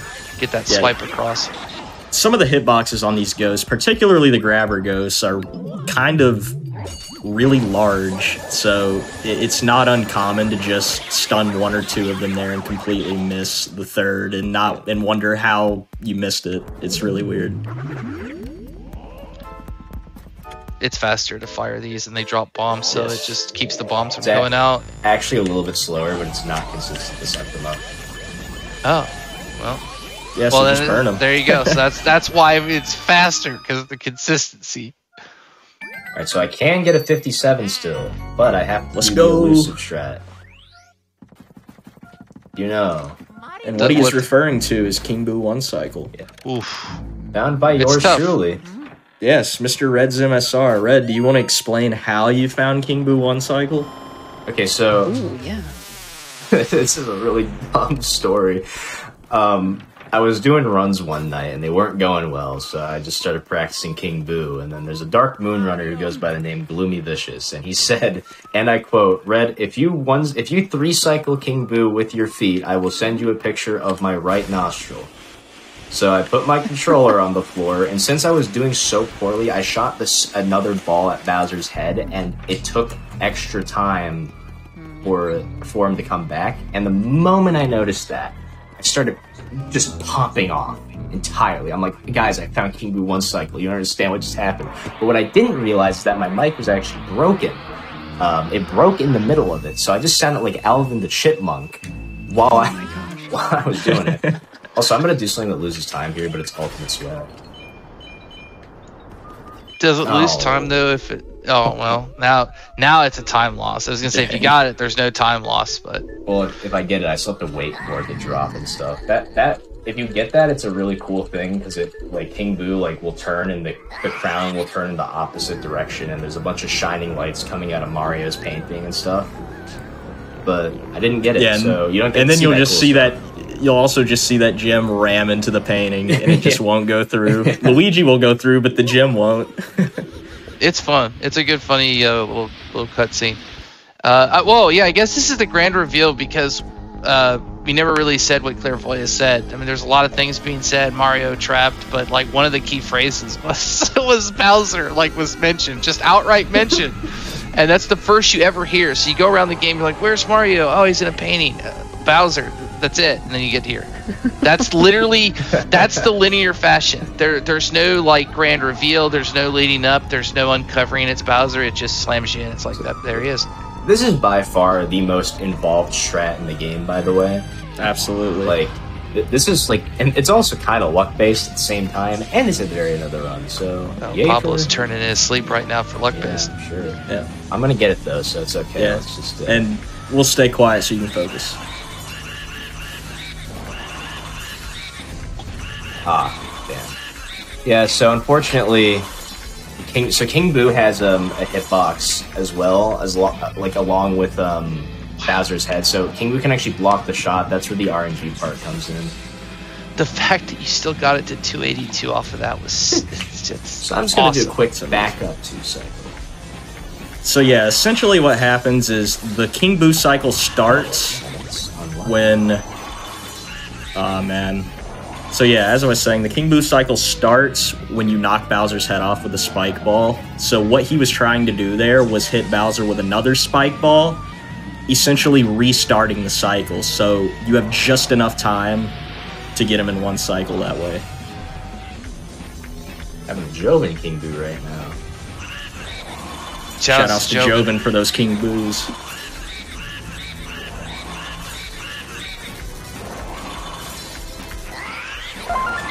Time, time. Sorry, time. Nice. GG. GG's man. GG's red. That was Thank awesome. you. Yes. Gosh. I I was holding my breath because I saw you backing away from the boo, and I was thinking, "There's no way this. There's no way he doesn't do it right." Yeah. Um, How are you feeling about the that run, Red? What do you think? you know, actually, considering the things I did, that wasn't as bad as I thought I'd do. Yeah, you pulled it together in some of these situations. Uh, I I was really excited to see what uh, has changed since uh, we had it on the show last time with with HD Lax. Like, gosh, that was way back in 2020. The fact that That's 2020 was four years ago is kind of I of know. painful. It's wild. Well, Red, thank you so much for running the game. Do you have any, you know, comments, shout outs, anything you Um, want to say? Well, obviously, if you ever if you ever want to run this game, there's a there's a Discord and a community and everything. Uh, I'm also really helpful personally to people, just as my own charitable thing, and not to toot my own bubble here. Obviously, shout out to the uh, the commentators, Big Max and HD, for coming on and doing this with me. Um, Of course, man. You know, Always pleasure. would not have been able Yeah. to do this by myself. I didn't talk very much, so it would have been a pretty boring run otherwise. um, shout outs to the Luigi's Mansion community. If I could give any specific shout outs, I'd like to give it to um, HD Wax, Joven, um, Big Max. Um, off the top of my head, sorry, I'm trying to think. I should have wrote this down. HD, Big Max, Joven, Glitch Doctor, um, Pike as well because he helped with the uh, in- with the Chauncey one cycle and just any like general friends I've made since I've started speedrunning this game. You guys have changed my life for the better, and I'm glad that this all happened. And yeah, um, now we see Mario get changed back. Yep. And um, I don't know if we'd have time to actually run the credits, but if we don't, I would like to show off a kind of cool thing you can do in the file select screen. Yeah, we can, sure, go for it. Yeah. All right, wait, are you saying go for it for the credits or the Oh, um, yeah, credits are fine. Okay, yeah. There's some. It's only going to take like probably 30 seconds for me to do after the credits, if that's fine. Because um, it's a, it's a game crash. You can crash the game three seconds in. Let, let's uh, let's see what you can do, Red, with this. yeah. Um, I don't know how long are the credits. Like That's what I was about to ask you because I'm not joking. I was about to say the credits might be slightly long. Yeah. Um, so I, I, would know, show like, I would show Mario getting for for the sake of like I'm all for it, right? I'll but show for the Mario, sake of you know, it, Luigi Mario laughing at comes there, yeah, which is heartfelt. You got to have it. It's what makes the whole game worth playing. I'm telling you this. this is the end. You're playing your category. You get your PB. You you always let this run, and Oh, then yeah. like. It's just perfect. Everybody's Very- happy. You're happy. just a very happy. heartwarming moment between two brothers. Oh yeah, Just, it's great. It just makes the speed run worth playing. I mean, it's it's like the story gets really wrapped up here. I love it. yeah, Luigi's gone through a lot of uh, a lot of torture through the uh, 58 minutes that I've been playing this game. yeah. Oh my god. There's a lot He's of like 58 crying, minutes. laughing. he's, he's Oh, he's so yeah, he's so happy. Like, uh, and then, then then now I would take him to the file select screen. Yeah. yeah, yeah. So, um, this is a cool little glitch you can do. This is only on the Japanese version, but you can crash the game. Uh, let me copy my file over so I have 31 instead of 30. You can actually crash the game three seconds in to playing. You don't even have to go into EGAD's lab. All you have to do is press right and A on the same frame. And there you go. There you That's go. it. Game broken. crashes. Done. Game's oh over. wow, yeah, it's over. So if you accidentally do that and you don't know what happened, that's that's what yeah, that's probably what happened. it's Well, yeah. it's uh, some weird programmed in thing where they're just like, that's it, no game now. Well, thank you for the PSA because I think the gamers need to know. You know. Oh yeah, of course. Maybe they'll accidentally crash the game or something. If you play this game on the Japanese version, avoid pressing right and A on the same frame. I think you can do it left and A too if you're on the second file specifically. Still. You Still, you gotta you gotta watch that. All Yeah. right, Red. Well, again, thank you so much uh, for being on the show and uh, Lutz, HD Lux. I had a great time. It was nice catching up with the Luigi's Mansion run and uh, seeing what uh, has changed. So thank you again so much, everyone, for being here. Absolutely. Thank you Thank you so much for having Thank us. you. Thank you for hosting this. Of course, thank you. All right, well, uh, my friends, we are about to roll to a break, but you better come back after that break because Yu Gi Oh! The Duelists of the Roses is next, and it's your move.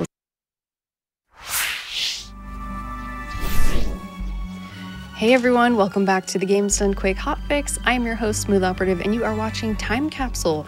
The stage is set and it is time to duel. So, here to show us a run of Yu Gi Oh! The Duelist of the Roses, please welcome our runner, Clovis. Hi, Clovis. Hello, hi. This is real, right? We're live. Everything is good. We're, Everything's we're live. good. It's real. This is it. I can't believe it. This is actually this is historical. This is actually the first appearance of Yu-Gi-Oh! Duels of the Roses on GDQ period. I'm pretty sure, as far as I'm aware. Let's- so hello everyone. Let's go. Hello. I hope we're all doing well. Uh, we have a lot of RNG in this run, so I don't even know what I'm going to be doing each duel exactly until I open, like I go into the duel and I open my hand. So I need to explain things like as I'm doing them, and of course contextualize everything beforehand. So the timer doesn't actually start until I select the first side. So we're going to go new game, but the timer will not start yet. So uh, let's do it. Let's go into new game, Yeah, and we'll get a I'm ready. yeah, it, it's there's a lot going on. So um, this isn't canon in Yu-Gi-Oh at all. So quickly, I'll explain the game itself. This was released originally Japan only, exclusive in 2001, but then it was translated and released worldwide in 2003. So this was originally named Yu-Gi-Oh! Shin-Duel Monsters 2, which the original Shin-Duel Monsters is Forbidden Memories, if you guys are familiar with that game. So, uh, yeah, this is actually technically the sequel to that game, even though it plays more like a spiritual successor. Um, and it's kind of like the same game, except it takes place on a 7x7 grid, uh, which you'll see. Uh, people call it chess. It's not really like chess, but it's just like a tile based strategy game that features Yu Gi Oh cards as like summons or assets effectively. Um, so we get summoned at the Stonehenge. Uh, the player character, like you, whoever's playing this game, is like who they summon. And now we have to enter our name. And this actually is very important because we need one of the 17 existing starter decks in the game. So when we enter name, it'll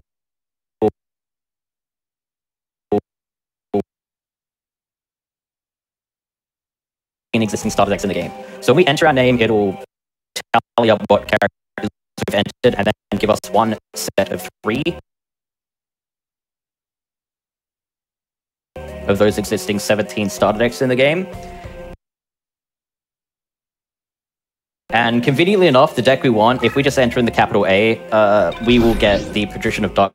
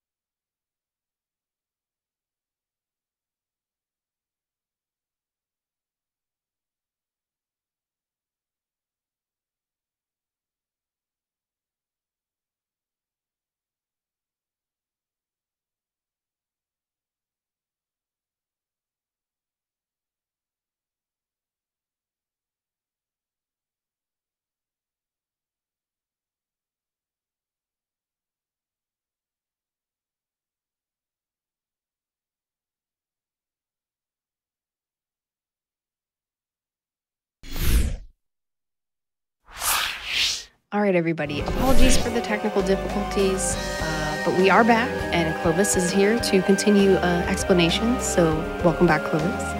Hello. Yes. So Australian internet is amazing. It's very, very high quality. Uh, so, anyways, uh, so what I was explaining is the starter deck. So there's 17 starter decks in the game, and we get a choice of three of those depending on what name we enter. And we want the Patrician of Darkness starter deck specifically. So any name we enter that gives us that as an option is fine. So we can enter capital A as our name, and we're fine. So now he's going to give us a selection of three decks, and we every single speedrunner will use the Patrician of Darkness starter deck. And there's two main reasons for this. So the first one is it has a card called Dimension Hole. This will teleport our deck leader, which is like our avatar where we play cards from.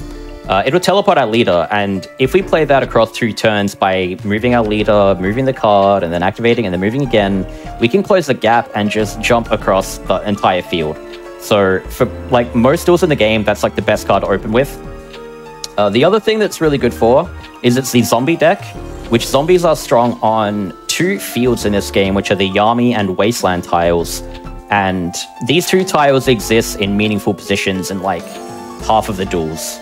So uh, between those two things, most of the duels, uh, this deck is just way better at pretty much every other starter deck for like all the duels pretty much. So uh, yeah. There's a few other things going on. So lore-wise, I'm not going to over-explain the actual lore of this. We it's it's a Yu-Gi-Oh game. We've been summoned to the Stonehenge, yeah. and it's like this is the War of the Roses in the 15th century, and we have to collect cards to ritual summon some Welsh mythological figure. So that's the plot of this game, pretty much. It's uh, As one does, right? yeah, I mean, very, very normal things. It, it is not canon. It absolutely is not canon. Um, okay, yeah, yeah. The the funniest thing, I guess, is that Yugi is Henry the Seventh, so he's the father of King Henry VIII, which some people might know of that, and he will tell us that soon. Also, apparently in this game, uh, my Valentine is Yugi's mother, so I don't know. I thought some people might find that as a little entertaining uh, little fact. Quickly before we, don't start, know too much about her. yeah, she's uh I don't know. She's not quite the difference of age that a, a mother would be uh, in, in context. I don't know. see. Anyways, yeah, so they just kind of had a lot of uh, creative liberties with this game. So before I uh, select the side and we start the timer and everything, I will quickly explain that the any percent we do both sides. The difference of the side selection it determines a value on some of the like the first duels on either side. So we select the red rose side first, the Lancastrian side, because this will make the first two duels on this side on easy mode effectively rather than hard mode. Um, so if we're ready, I can count down to start the timer. Yes, absolutely. Alrighty, three, two, one, go. Let's go. Good luck, Clovis. Thank you very much. I'm going to need it. This is a very RNG heavy run. This really is so RNG dictated. So if anyone has any blessings in the chat they would like to give me, I'll take every ounce of them. Yes, many Really? blessings. Any any prey, even the the default emoji. So here is where Yugi basically contextualizes that he is role playing as Henry VII. He literally says that he finds the name Henry VII tiresome, so you call him Yugi. I'm sure Henry VII actually said that, uh, you know, in the 15th century. But uh, one thing they explain is that you need a deck cost lower than all the opponents in this game to duel them. And because all the starter decks start off higher than the lowest opponent's deck cost in the game, we have to edit our deck at some point in the run. So to get back at the game for making us do that, we're going to enter in passwords. I know this sounds ridiculous, but the password is a carryover from Forbidden Memories where you had to pay. But in this game, you don't have to pay, so we get all these cards for free. We can't actually enter in any card we want. Uh, there are restrictions on some really powerful cards, so we just can't enter them. And the deck cost system, we have to add in low deck cost cards, or else we just we can't actually progress through the game. So we're to take out all these chunky cards and add in some lower deck cost, high value cards. So I'm to eject 13 cards. I do have the password list on my screen. I definitely don't want to make a mistake in that regard. So the first card I'm going to enter is Dimensional. We already talked about this card and we should see it throughout the run. Uh, we start with one, but now we have two. And then we're going to enter in three cards called Lab Breakers. So what these cards do is move through a labyrinth tile where uh, normally we can't move our leader our deck leader or any of our monsters through labyrinth tiles. And we would definitely see this throughout the run. And so what these cards do is let us cut straight through those tiles. So we enter the cannon soldier and enter a Dharma cannon now. And then a cannon soldier. And uh, these also are useful for other things. We confuse them, and all these cards are strong on Wasteland, which is good. So most duels, we're looking for a gap closer. We either want a dimensional or a lab breaker, depending on what's on the field. So if there's labyrinth in the middle, we want to see these cards in the opening hand like all the time. And then after this, speaking of terrain, I'm going to add in a Wasteland, a copy of Wasteland, and all the field spells do in this game is you flip the field spell face up, and it just puts terrain on the field. And terrain advantage is huge in, huge in this game, and I don't really need to contextualize it now because we'll definitely see it. Some of the fields already have uh, the field we're strong on.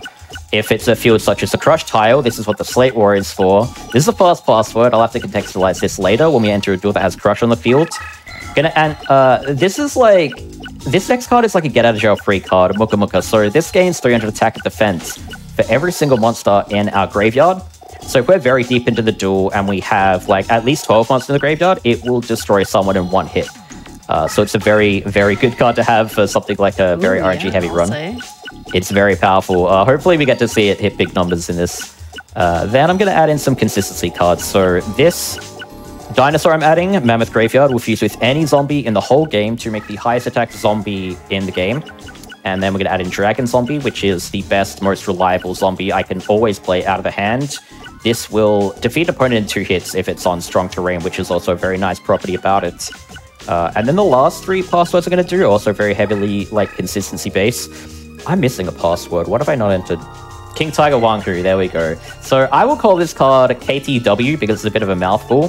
This monster moves two tiles when it's face up, regardless of whatever uh, field it's on. And this actually matters a lot. We'll see the terrain boost throughout the run. So we enter in these passwords, and then I'm doing three more. These are all going to be power-up cards, which are known as the equips, uh, like the equip spells in regular Yu-Gi-Oh!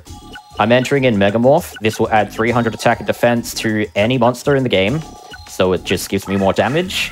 Then I'm going to enter in Violet Crystal, which will give any zombie 500 attack and defense.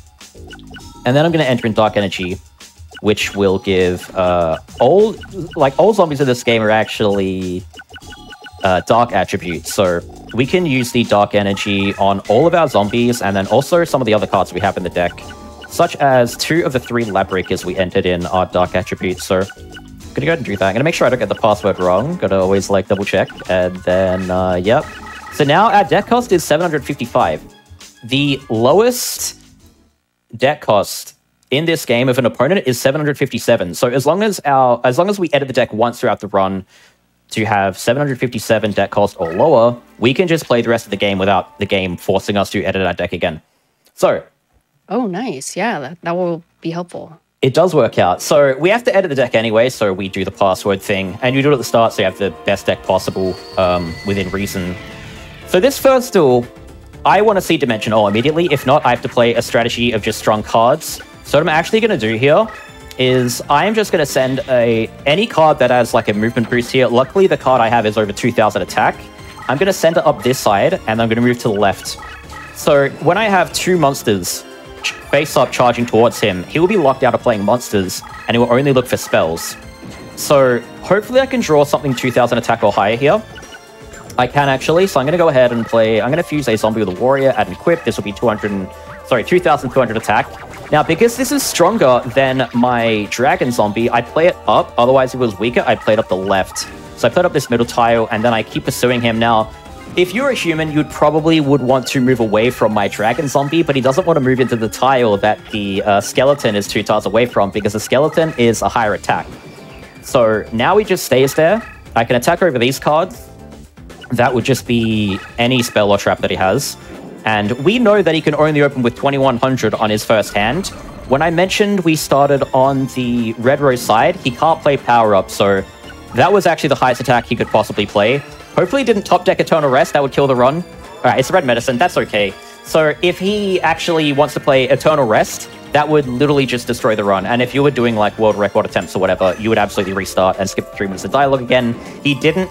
He healed, so I can't OTK him. If he did not play the red medicine there, I would have enough to lethal him and I would win. So at this point, as long as he doesn't play Eternal Rest, we would just attack him once more the next turn. And this is another, like, you know, the whole run is RNG, but basically that one thing, even though it didn't kill the entire run, lost us a whole turn.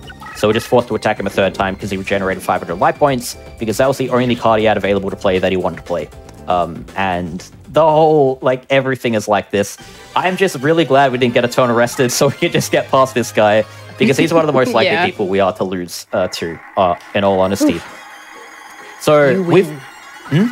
Go ahead. I said you win. Exactly. You'll see that box uh, 21 times in the run. That's 21 duels. Oh so yes, I'm excited. 20 more. uh, there's a slot reel graveyard game at the end there, but we've already edited the deck, so we don't really need to bother about that. So we just mash through that. Um, up next is Weevil. So he's another like choke point, reset point. So his whole field is uh, forest. And so we can't really just do, we don't have innate terrain advantage. So we need to draw something strong on forest, or we need dimension hole, or we need to change the terrain. There's like our three options. Uh, with a Muka Muka as a backup, that card always like gets you out of jail basically. But again, I don't know what I'm going to be doing until I open with my hand. So we're going to move forward. I'm going to play card top left. Hopefully it's a forest fusion. I just got to see what I have. Um, and I have a dimensional, which is really, really cool.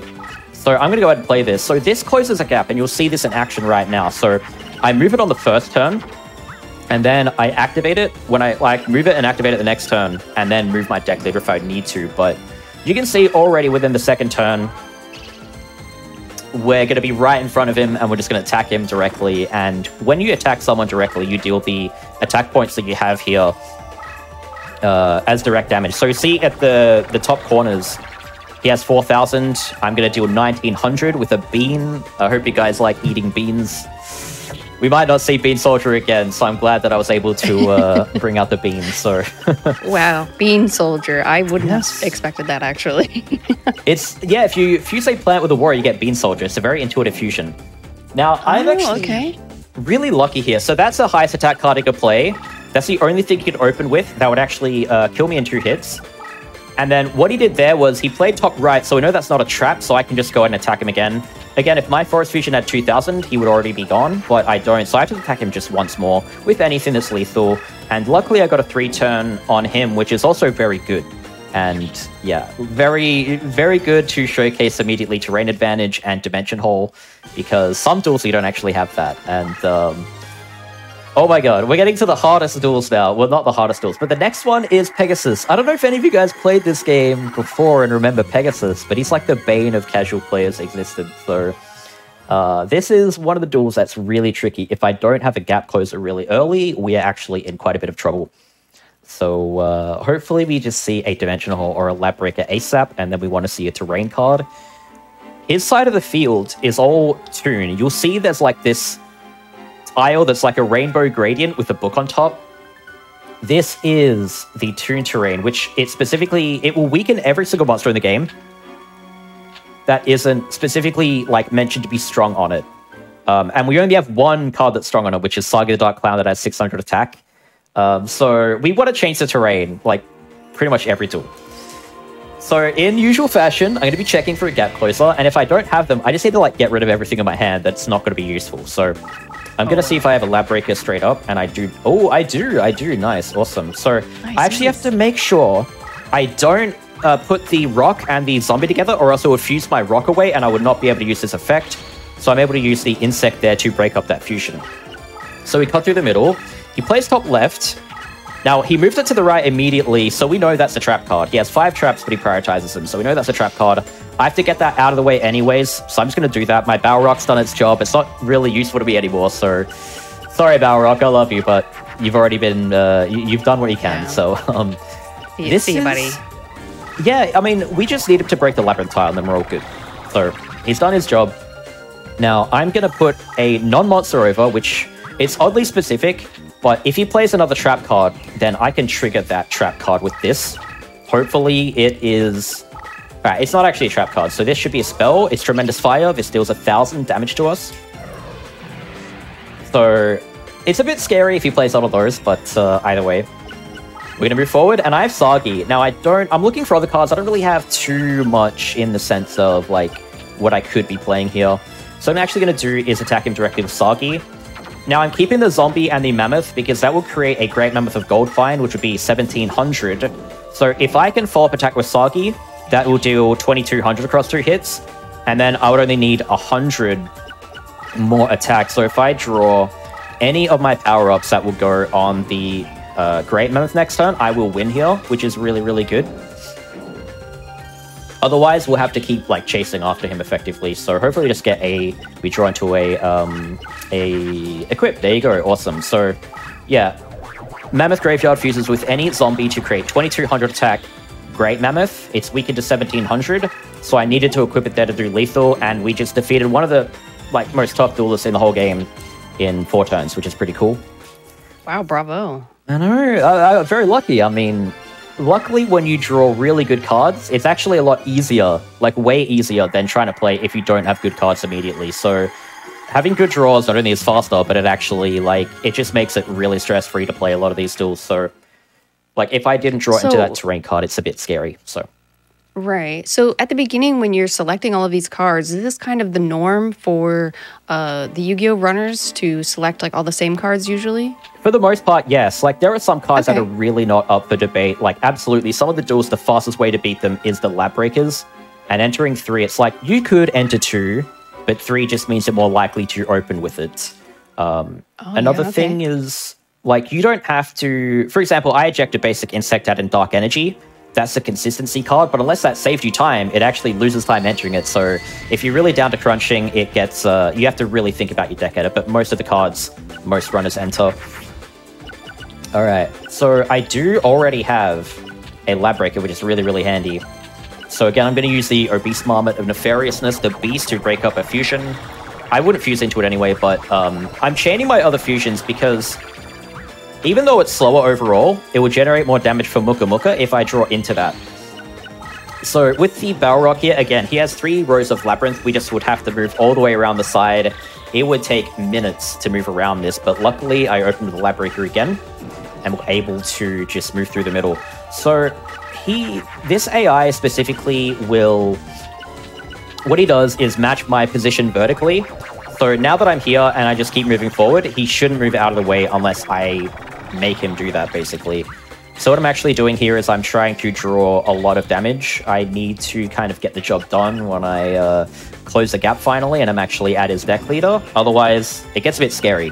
So I'm hoping to draw a Muka Muka or something like a Mammoth with some equips or whatever. I'll be able to attack him with the Balrog for a thousand, and then hopefully I can follow up with 3k or higher because he has 4,000, of course. So I'm going to keep ditching stuff. Um, at this point, you could probably argue that maybe I should be holding on to some of these cards, trying to play it safe.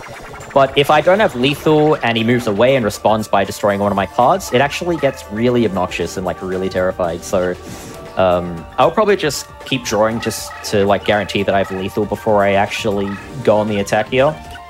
I'm in a pretty comfortable position. I can probably take another turn or two, depending on what he plays now. So um, I'm gonna move this forward. He shouldn't react to it right now. And um, hmm, how do we go about this? So I don't really have much damage. I can attack him next turn though, and then um, I can follow up attack with something, and we'll see. We'll see how this goes. We don't really know exactly what we're playing until we draw stuff, so even though I was really hoping to get more damage, it's not really worked out that way too much. So I'm going to take the free hit with Balrog for a thousand damage regardless. I really should just be doing this. Um, and then hopefully draw into something more strong like next turn would be good. So I actually have 3k here. So I am going to uh, use this attack just as much damage as I possibly can play because it is safer overall to just have as much damage as I can. I can't lethal him, so he will move away after this, and it's actually a bit scary. But if I have anything strong now, if I draw into Muka Muka all of a sudden, or he, if he doesn't destroy this, I'm fine. Like, he plays out of the way. As long as he doesn't destroy my Pumpkin or move in the way, we're fine. If he moves in the way, it's a bit of a problem, but... Again, we don't really know exactly what's going on. He's moved away, so that's really good. He shifted, which, um... This could really help us. Alright, that doesn't do anything. That didn't do anything. So he actually has nothing on the field that's really strong, so he's just gonna move away. And we are fine. I'm gonna make sure I have lethal here. Alright, cool. So luckily, he didn't actually respond with any high attack monsters, and that is possible if he just doesn't draw any or he keeps playing low attack monsters or whatever. And once we've closed the gap, we lethal him with the whatever is enough damage. So uh, yeah. Again, without opening with a a lab breaker or dimension hole, it's uh, you're not really likely to kill that guy or defeat him rather, to use a more polite term, uh, very quickly. So yeah. Well, nice job on the overkill. That was a good one. Well, thank you. I mean, I could have probably just played the dinosaur attacked him, but I like seeing the giant. I like the big numbers. They're cool Yes. to see. So You gotta see the two two zero zero. Boom, all it's red. great. It's awesome. Like truly, just seeing big numbers in this game, I think, is what every person who watched this in their childhood really wanted to see. So, I mentioned earlier we entered in the password for Slate Warrior. Now is the first duel I can textualize it. So you'll see these like pinky ready sort of uh, tiles on the field. These are called crush tiles.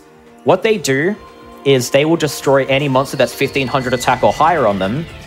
And so we enter the Slate Warrior because Slate Warrior is an immortal type monster, which is immortals are exclusive to this game. We didn't draw it, so I still actually want to draw into it. So I keep the plant there because if I play that plant now, I wouldn't be able to play it if I drew into the Slate Warrior. Um, Immortals are exclusive to this game, and what they do is instead of being destroyed on Crush, they actually are able to they get a movement uh, bonus and um, attack bonus on Crush. She probably just played a Bolt Escargot. uh, Escargot, I apologize. Uh, I, I don't know why I said that wrong. I never say that wrong. But anyways, I drew to the Slate Warrior, which is great. So instead of having to play monsters under 1500 attack, I just attack with his really like 2900 attack on Crush. Like it's ridiculous. This card is really, really powerful for a lot of duels, but on the Crush field, this is the best card. This is head and shoulders above any other card on this duel. So I attack directly. Uh, and there's other things going on. So the first card I played out the way was so that she moves forward. If I play a card in the middle of the field, like the middle column, she wouldn't move forward. So we let her close the gap, we attack her directly. The mirror wall there doesn't matter because we dealt so much damage on the first turn that I wasn't even worried about that card being mirror wall there. Luckily, she didn't open with that because that would have been really annoying. Uh, if she opens with mirror wall, it just you lose like a minute no matter what you, you're doing. So uh, very good duel that we there. very lucky, very lucky that she moved out of the way and played Mirror Wall after we had Slate Warrior. So uh, that duel was fine. Whew. That duel was absolutely fine. Good, Something's going to go wrong at some point in this run. I know it. It's a very RNG heavy game, but uh, so far so good. Honestly, this is pretty good. I don't actually know what the timer is, but uh, I would Don't say it's pretty decent. Run. Yeah, I don't even need to worry about it. I mean, you can kind of get a feel of how decent the run is uh, based on like how many turns you defeat the opponents. So Comicus Keith, uh, quick notice, you'll see he had a um, a a Union Jack bandana on. The Union Jack didn't actually exist in the 15th century, so whoever did the research in Konami got that wrong. Uh, anyways, shame. I know, I know. Uh, so I don't actually have anything good here, unfortunately. I could YOLO this. Let's just YOLO it because otherwise I just have to restart this duel anyways because this is really not that good unless I want to play it super slowly. But this could work. If he plays in front of him, he'll flip up and destroy this monster. But if he plays to the right, his monster is weaker than this. That's actually very lucky. That is actually very lucky. So he played something weaker than 1800. So now I can send this Balrog up, and because my monster is to the right of him, which all the White Rose duelists do this, he actually, uh, how do I explain this? So, oh, this this is actually really good. Um, so instead of moving to the left to move away from my monster, his bias to move towards the right. All the White Rose duelists are biased to move towards the right. So instead of moving to the left, he moves forward to try to start moving to the right to get around my monster, which is really interesting. Uh, so that closes the gap so we can attack him with Great Mammoth. And this is unironically like one of the fastest ways to beat this guy. I think this is actually the fastest strategy to beat this guy if done optimally. So with uh, lab This is going wild. this is actually very, very good so far. So with the terrain advantage of the lab breaker, we're able to beat him in three turns. I couldn't really ask for a better duel than that, in all honesty. Like that was really good. So so far, so good. Wow. Mm, And, very, and you were happy. worried you would have to reset that one. You win again. I know. I, I totally like. If he opened with anything higher than eighteen hundred attack, he would have absolutely played in front of him, destroyed our monster, and we would just have like no play. Uh, we could try to play on, but it is it is always awkward if you try to play on. Uh, sometimes to the point where like a very long duel when it's drawn out there's like compound time loss. The more like cards the opponent has out, they keep moving them, and you lose a lot more time. And uh, so sometimes it's actually better to just exit the duel and go in and get a really good one. So Mm, yeah. Darkness Ruler is pretty unique. He's like the one guy in this whole run where you actually don't want to draw dimensional or lab breakers or terrain cards, like none of those cards. You just want to draw things that are already strong on Yami, because the whole field's Yami. Again, we mentioned earlier about, you know, zombies being very good in the campaign. You can see how many fields already have like Wasteland and Yami, so hopefully we have a decent amount of damage. Now, the annoying thing here is that so because all those cards are four summoning power, if I if I play the KTW this turn, that's four stars, I wouldn't be able to play those other monsters next turn. I wouldn't have the summoning power for them. So I have to just get rid of them. I have to get rid of everything there that isn't useful. So behind him, he usually plays a trap card. It could be a monster, but it usually is a trap because he prioritizes trap cards. I'm just going to check to make sure I have a lot of damage. And now what I'm going to do is I'm going to try for a two turn. If that card behind him is a trap card that is not Gorgon's uh, our KTW won't be able to attack. But if that is a monster, then we would absolutely just uh, just uh, two turn him. So we attack with a weaker card first, so that I still have this really powerful guy. This 3200 attack, which uh, hopefully doesn't destroy this because that would be very very bad. Uh, so he should move back and then play something else. We'll see what he plays. He moves to the right. He plays behind him. That's fine. So he defends with that. Um, we don't know if, that, if that's a trap card or not. I could YOLO attack him with that. I just want to make sure I have 800 attack. So I'm going to attack actually with the Dokuroizo, the Grim Reaper, which this card has a special effect of it attacks through short range traps. It's not, it doesn't trigger the short range traps. So if I attacked him with either of those cards and he had a trap behind him, I it would get destroyed or spellbound, and I would be able to attack him with the other card there anyways, because starting first in this game is really overpowered. We just always have like one card advantage, and they can only really respond one card at a time. So um, that was a pretty good duel. As long as that guy's like three turns or even four turns, it's fine.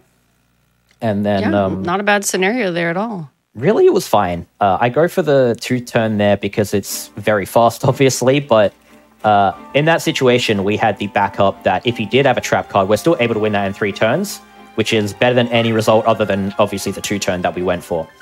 Now we Oh, go into Necromancer. His name's Bones in the anime. They hadn't had a real name for him yet, I guess, so they call him Necromancer because he's like the zombie duel.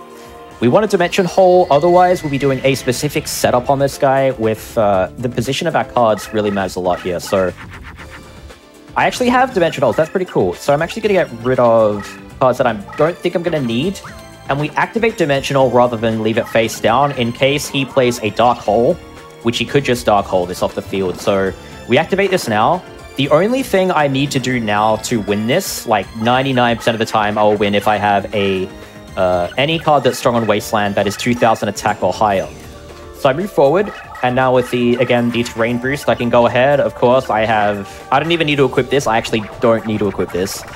But as, uh, just the more damage is better. Like, if you were to block me here for whatever reason, I could move down attack, so it's whatever. It takes you one second to equip something. It doesn't really lose that much time. But um, what he does now is he keeps moving to the right, and then he plays the monster to the left, so you might be thinking, oh, he's going to block me, right? Unless this monster is Pumpkin, the King of Ghosts specifically, he actually he just moves that out of the way. So we can attack him again. Because the AI in this game are amazing. They're really, really good. So, uh... yeah, so he, you, if you were human, you would absolutely block and defend there, but no, he just, I don't know. I, we couldn't really explain exactly what's going on. My guess is he's just, his monsters prioritize my leader to try to attack me and ignores what I have on the field. But it helps us out a lot there, so that's really, really cool. And uh, so far, so good. I don't really think anything's gone wrong. So I feel like, I don't know, Richard. All right, coming up next is King Richard III. Yes, we are fighting a historical figure. I can't believe it. Oh, wow. Crazy, right? So this is a very intriguing duel. So he's very volatile, I would say, in regards to he can give you a very easy duel or it can actually be quite difficult. What I'm looking for that's like the safest thing here is a terrain card. His whole field is basically like the whole middle area is meadow, which doesn't weaken us, but it strengthens all of his stuff. And because he has a lot of monsters around our attack range, activating a terrain card on this field actually just means the difference between pretty much everything we play uh, losing to his monsters versus everything we play defeating all of his monsters. So this is one of the duels where, again, I just kind of need to hopefully draw a terrain card or a gap closer. Otherwise, we just kind of have to play on the fly and hope for the best. Hope we draw two good cards. luckily, I actually have a terrain card already, so I'm going to play it up the left here.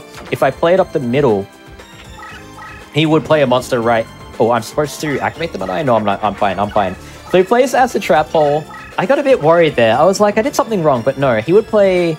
If he had a monster, he plays it in front of him, and then he moves that over to the right tile. He wouldn't attack me there. So what he just did there is he played top left and moved that down. That is an acid trap hole. We know that for a fact because that is how that is exactly how he plays his um his trap cards, and the only trap card he has is actually acid trap hole. So as a trap hole destroys any monster that attacks it or goes near it that has 4,000 attack or lower, which is a lot. So uh, we kind of want to get rid of that. So I check my hand to see if I've got more damage than this. If I don't, I'm going to use a monster next turn to get rid of that. Otherwise, I'll use my Wood Remains to get rid of it and then attack him with another card. So I check first off. I really have nothing. This is actually kind of sad. Uh, I'm really drawing a lot of nothing at this point. Like, it's way too late for um, Dimensional to be impactful here, but I have to get rid of this to get a free attack in. So I'm going to get rid of the acid trap hole so I can attack him directly. The unfortunate thing is he is on Mountain, which weakens zombies, so I only do a thousand attack here, which is really not a lot. I really do need to draw into more damage after this if I want this to be a good duel. But worst case scenario, we still have uh, Yami on the field, so it's still playable. This is a really unlucky duel. Like, he's playing a lot of damage, and I really didn't draw any damage, which is a bit of a shame. The good thing here is he moves his monster out of the way to attack mine, so as long as I have a lot of damage next turn, we should be fine. I'm going to go ahead and move to my left in case I need to move the turn after this. And um, I actually have exactly 3,000, I believe. So that's very convenient. Um, so yeah, even though I only like fusing the Dragon Zombie, so Dragon Zombie fuses with any zombie in the game that is a lower attack to make Skelgon. That's 2200, sorry, 1700, boosted by 500 on the Yami, boosted by 300 with the Dark Energy, plus 500 with the Violet Crystal, and that's exactly 3000 there, which is just very convenient. I obviously could not have planned for that to be exactly lethal, but Yeah, Hey. that's wild. Exact numbers. very convenient and very lucky there because that was a bit of a scary duel. But as I mentioned, we had the terrain there, so that was fine. All right, so coming up next is actually one of the few duels we could actually defeat in two turns. Um, so coming up next is Seto Kaiba, which I know everyone loves Seto Kaiba. He's everyone's favorite character. Um, so the setup for this guy is actually to like the the optimal way to beat this guy is to play the highest attack possible monster in the middle of the field, and then he's going to do one of three things. So if he can't play a monster on his first turn, he will play to the left and move to the right. Like that's just how it is. Uh, but if he plays a monster, he usually he wants to play it in front of him. But if the monster he wants to open with is weaker than the card we have in the middle, what he does is he plays out of the way to the next available tile, which is clockwise. He'll play it to the right, which will block his normal path he moves to the left. Uh, sorry, to the right.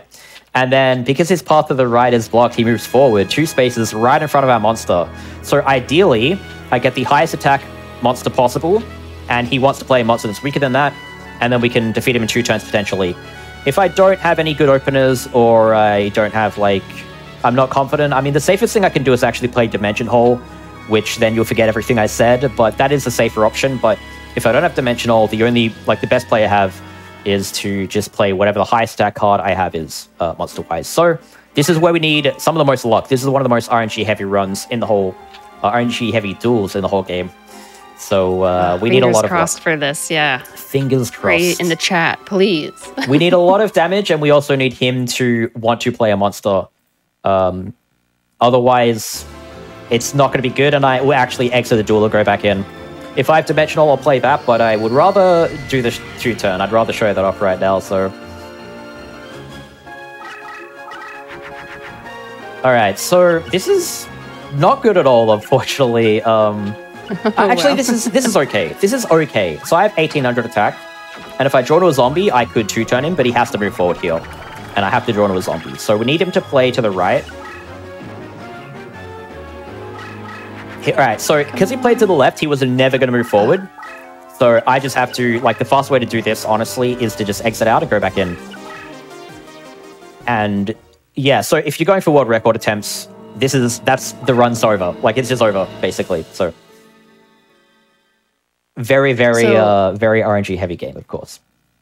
So you have been speedrunning this game for quite some time. Like, how many attempts do you think you have put in over the course of your running this? So across like the last six months to a year, in any percent, I've done two thousand two hundred and something runs. That's what it took to get the world record. Is like you know RNG wise, just continuously rolling, trying to play as good as you can and uh, maximize like what you get via luck. Wow, yeah, that puts a lot into perspective, friends. Don't forget that there's uh, three minutes of unskippable dialogue. So I've skipped, uh, I don't know, like 100 hours of the intro, like in the last half a year, which is a lot. So Oh, oh wow, yeah, you're you're not kidding. it's a lot. It's a lot of uh, dialogue skipping. So again, he played to the left. He was not going to move forward here. And like, if I were to be playing badly and missing opportunities, I would be a bit worried. But this is pure RNG. There's like nothing else I can really do here. So I'm really not bothered. Uh, just hopefully it takes one or two more tries instead of another 10. Otherwise, we'd all be sitting uh, waiting. It's like a giant loading screen, basically. But we had a pretty good monster there to open with. But if he doesn't want to open with the monster, he's not going to move forward. Now, you can play him out the slow way, but it's very RNG based. You do need like a labyrinth breaker, and it's so slow that you're actually just better off restarting and going back in. Like, you're more likely to have a good duel than you are to finish it off and have that be very good if you don't have like a good opening setup for it. So, try again and again and again. This time around, I'm actually going to I'm going to fuse two monsters together and ditch a third one to generate as much damage as I possibly can for the Muka Muka in their hand, because that's the highest attack that we can achieve here. Um, this is I'm not too confident on this, but finally, okay. So he wanted to play a monster there, and it's weaker than our card. So that's what he does. He plays to the right, he blocks his path, and he moves forward. So then we get to attack him for free. just difficult, you know. He yeah, he just uh, sometimes he's a bit shy. Uh, this is really good that we have this because after I have 1800, again, I conveniently have exactly 2300 by equipping a Skelgon. So this is a two-turn kill that I did want to demonstrate, and ideally you would get this on the first duel, but you can defeat like out of all the duels in the game, Kaiba is one of the people you can defeat in two turns with this manipulation setup. So that's exactly how that duel's supposed to go, which is really really nice. After the two losses, of We got there. We got there, finally. Awesome. We got Yes, there. You win. Yes. Again, the you win box is great, and then it shows a picture of the blue vampire guy, Patrician of Darkness, classic. Love him. Take that, Seto. Uh, he's gone. He's he looks very disappointed if you see in the corner. He's very very sad. well done, duelist. Oh, he you can tell Seto's just tricking you. He's like uh, he plays. A, he's he's he's a bit funny here. Look, see, he's all smug now. He's all smug now. So he's basically giving us like he he just said, oh, this was all part of his plan, and now he's going to summon the big bad boss. Ooh, okay. The great summoning. Yes. The screen's shaking. this is oh, dramatic. it's shaking. Oh shit. Oh, I shouldn't have sworn. Seto was like, I needed you, Clovis. Where were you? He did. So he acts like this was all according to plan, and now he summons. I can't pronounce it. I'm not Welsh. It's like Menaidan Fablier or something. Uh, it's a Welsh mythological figure. Good attempt. It's it's Oh, okay. relatively accurate for an Australian, I would say. This is the final boss, and we see him on both sides. He's on this side and the other side. So this is actually the easier boss. So this boss is very spell focused. If we get really unlucky, he could actually um, reduce our life points to zero by playing a bunch of burn cards. Otherwise, we've got all this crush in the middle of the field, so we want to see Slate Warrior or a terrain card. Worst case scenario, we just want to play cards as close to 1500 attack without going over. So I'm not too worried about this guy, and if you lose to this guy, it's usually like heavy RNG. So we got Slate Warrior immediately, so that's really good. Uh, hopefully we get a three turn here. So he plays a card in front of him, he moves it forward, and then he moves his leader forward because this should be a short range trap. There you go, Gravity Bind. Um, so we just get that off the field, which is why I actually started with a monster in general. And now I can go ahead and play Slate Warrior on top of this and attack him directly. So yeah, normally again, Crush, if you have anything 1500 attack or higher, you could not play it on Crush. But Slate Warrior is very powerful and it's also an immortal and it's strong on Crush specifically. So very convenient that we saw this on both of the Crush duels so far because we can actually defeat this guy in two hits. So this could be a Mirror Force potentially. Hopefully it's just a, a monster. that's it. So we beat the final boss of the game. One of the two final bosses of the game with like one card effectively in two hits in three turns. Wow. So very lucky we drew that. Yeah, very lucky we drew that. That first half was really good. I'm very, very happy with that. So um You win once again, Clovis. we win. I can't believe it. I can't believe it. we win. Apart from having to go back into Seto Kaiba twice, everything about that was honestly really good. Like I'm very, very uh, happy with the luck that we got. So um yeah, he's angry. We've banished him back to, I guess, Wales. I don't know. I don't know. So we will get the credits, but we'll skip the credits. We save the game and we skip the credits. Um. So it's just the end of the game. We've sent the evil demon back to the realm, and then Seto Kaiba just goes AWOL. And then we save the game. That way, when we go back to the main menu, we can start the other side of the game, which that will be the second half where we finish any percent. It gives us the password to Fairy's Gift if anyone's curious what that card is. So we save, confirm, and then we restart the console. If you sit through the credits, it will put you back on the main menu anyways. So by saving and then restarting, we just skip the credits and then we end up on the main menu and then we hit continue and it will um it will uh yeah, force us to select the other side basically. It'll skip the name entry and the like deck selection. It won't give us the option to watch the tutorial or anything like that. And we're just forced to select the White Rose side, the Yorkist side. So uh, let's go ahead and do that. If I accidentally were to hit new game there, the only option really is to restart the console and not do that a second time. Ah, okay. Because otherwise, there's like three minutes of dialogue to skip uh, to exit back to the main menu to load and try that again anyway. So, So you might be wondering, by the way, like how is it balanced that you we've beaten the final boss and now we're starting on the other side? Like, how is this balanced? It's not. So uh, immediately after beating one of the bosses of the game, one of the two final bosses of the game, we are fighting the duelist that you would be pitched against. First off, if you initially selected this side, I mentioned earlier that if I have three or more wins, that Rex and Weevil will play power-ups. The first duelist on this side, Taya, has a similar flag, but instead of it flagging power-ups, if I have three or more wins, which I do now because I beat the other side of the game, she will fuse her monsters together, whereas she normally doesn't do that. But this doesn't necessarily make her harder. It actually can be good for us. She'll fuse so away. this is like pretty normal doing these battles uh, in the second half of it, I guess. It's pretty normal. Yeah, so you get used to this fight, um, and you can actually check the graveyard to see what she fused. She can only fuse Dark Witch or um, Mystical Elf, and you can check the graveyard if you're really not sure and you need to know that information. I do check my hand here to see what I have. Um, I have Dimension Hole. I don't really have a lot of damage, so I'm going to teach the Yukazi in the Fiend's hand, and I'm going to play this Dimension on the middle.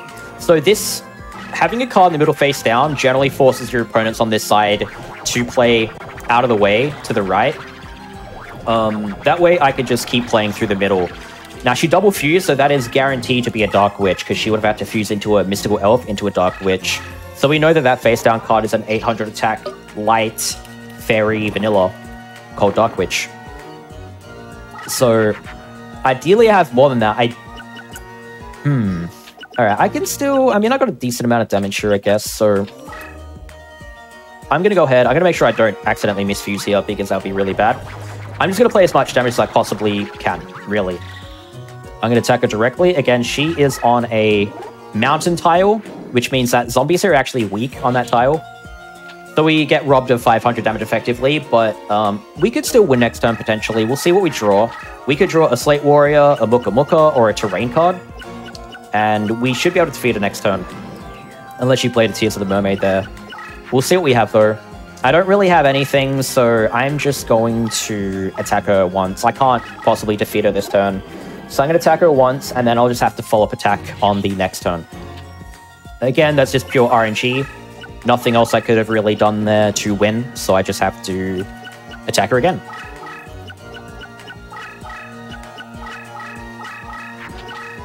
Even if she destroys this cannon soldier, it's not an issue. I'm just going to play another card. And um, she has a thousand life points, right? So I'm going to attack with a skeleton.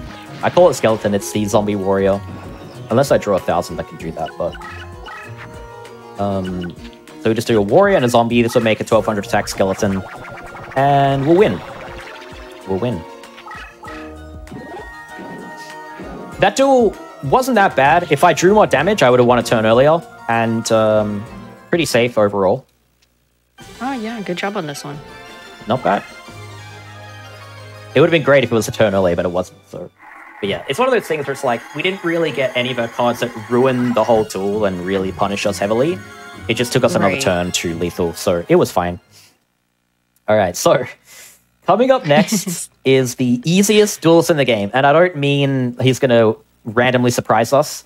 Um, the only way this duel is not good is if you just fail to draw damage. Uh, all my goal is is to get a zombie card that has 2000 attack or higher on the middle wasteland field of this field. Of this map, rather. Whatever you want to call it. And um, if we do that, we'll win very cleanly. There's variations on that, but just having a really high attack zombie, it will just defeat this guy if it's high enough attack. So ideally, we get a so great mammoth or um, something. What's that, sorry? Battling Tristan now. Yes, Tristan, the easiest guy. He's in London, so we have a just. I'm going to play the highest attack possible zombie I can. I'm going to play a um, dragon zombie here. Again, I use a caterpillar to break up the fusion, so I don't accidentally fuse something else. And um, hopefully, I get either a power-up card or a plant or mammoth graveyard. Mammoth graveyard would be the best.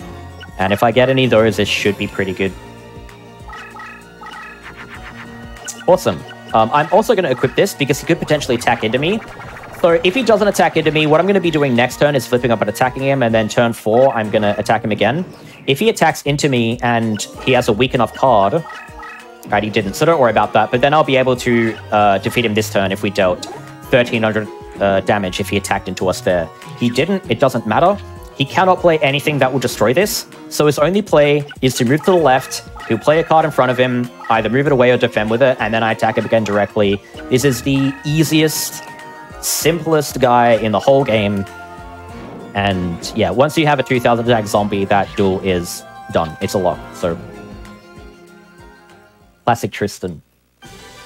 Uh, yeah, I guess uh, someone in the chat says Trish, Tristan is a complete pushover. What do you think, Chloe? it's absolutely correct. He is absolutely the weakest, whether you're speedrunning or casually. He is absolutely like no one is even as close to as weak a duelist as he is. And if anyone's wondering why, he has no power up cards, like he has no buffs. And most of his monsters are like really just like medium stats monsters. So if you have anything Yeah. that's like above 2500 attack, he will just never beat your cards. Like he just won't. So Tristan's uh, just trying to get by, you know? he is. I think he's pretty comfortable. I mean, it says he lives in a castle in London, but the field suggested otherwise. But, anyways, immediately after the easiest duel in the game comes the hardest duel in the game. So, this is great. So, Mai Valentine is very difficult in any context. And with a zombie deck, we're weak on this whole field. So, we kind of want other cards to help us out a lot. Um, luckily, I do have a Wasteland here. So, what I'm actually going to do is I'm going to place, again, this is similar to Taya, where if I have a monster on the, like any face down card in the middle of the field, she plays to the right. Now, she just plays stuff that's like 300 attack casually without even breaking a sweat, which is annoying. Uh, so we really need to do something about that. So I'm going to go ahead and activate this terrain card up here in this specific tile. And the reason for this is now I can propel my first zombie forward. This will force her to move two tiles. So, like Seto Kaiba, Mai can also move two tiles. These are the only two two duels in the game that can move two tiles. So she moves two tiles to the left. She plays out of the way. The first monster she played will probably destroy my monster, but it's fine. Uh, because I have other backup. But there's Kanan the Sword Mistress, 2400 attack warrior. Crazy. Crazy. It's actually pretty rare that she double equips that. Uh, but it doesn't really matter in this in this context. So um, I'm gonna go ahead and move forward again. I do need to replace a monster here, so if my monster survived, I would move that first skeleton on this card specifically. So now that I have a card that has mo- uh, movement bonus here, she moves two spaces forward to get at the attacking range. As you can see, she's very close to my deck leader now, which is really, really convenient. Um, so I'm going to move to my right and make sure I've got some decent damage going for us. Uh, I do. maybe moving the Fiend's Hand there wasn't the move, but we'll see. We only really know next turn if that was an impact, uh, if that was like a bad move or not. So um, I'm just going to try to get as much damage as I possibly can in right now. And she'll move two tiles away. She might move two tiles back, actually, now that I moved that uh, Fiend's Hand, which is not very good. But this is still fine. This is still okay. Because I have a setup that can actually work here. So she moves that up instead of the left, which is good. So I'm actually going to attack first with this, just in case she just played a trap card there, which she did. So by attacking with this bowl of hands, zombified hands, uh, we get rid of that trap card, so now I can just go ahead and attack her directly with a Slate Warrior. I had the Muka Muka there, but I had Slate Warrior, and I know this is going to be a win, so yeah, we... Luckily, I had the card there still to take that trap out. Otherwise, I wouldn't be able to lethal with Slate Warrior here. So we get rid of the trap, we attack the Slate Warrior, and we win. We be the hardest duelist who is not a boss in the game. She is Ooh, top three job. hardest duels in the game, for sure. Along with the final boss, the next final boss, not the one we beat earlier, but the next one that's coming up in about five duels.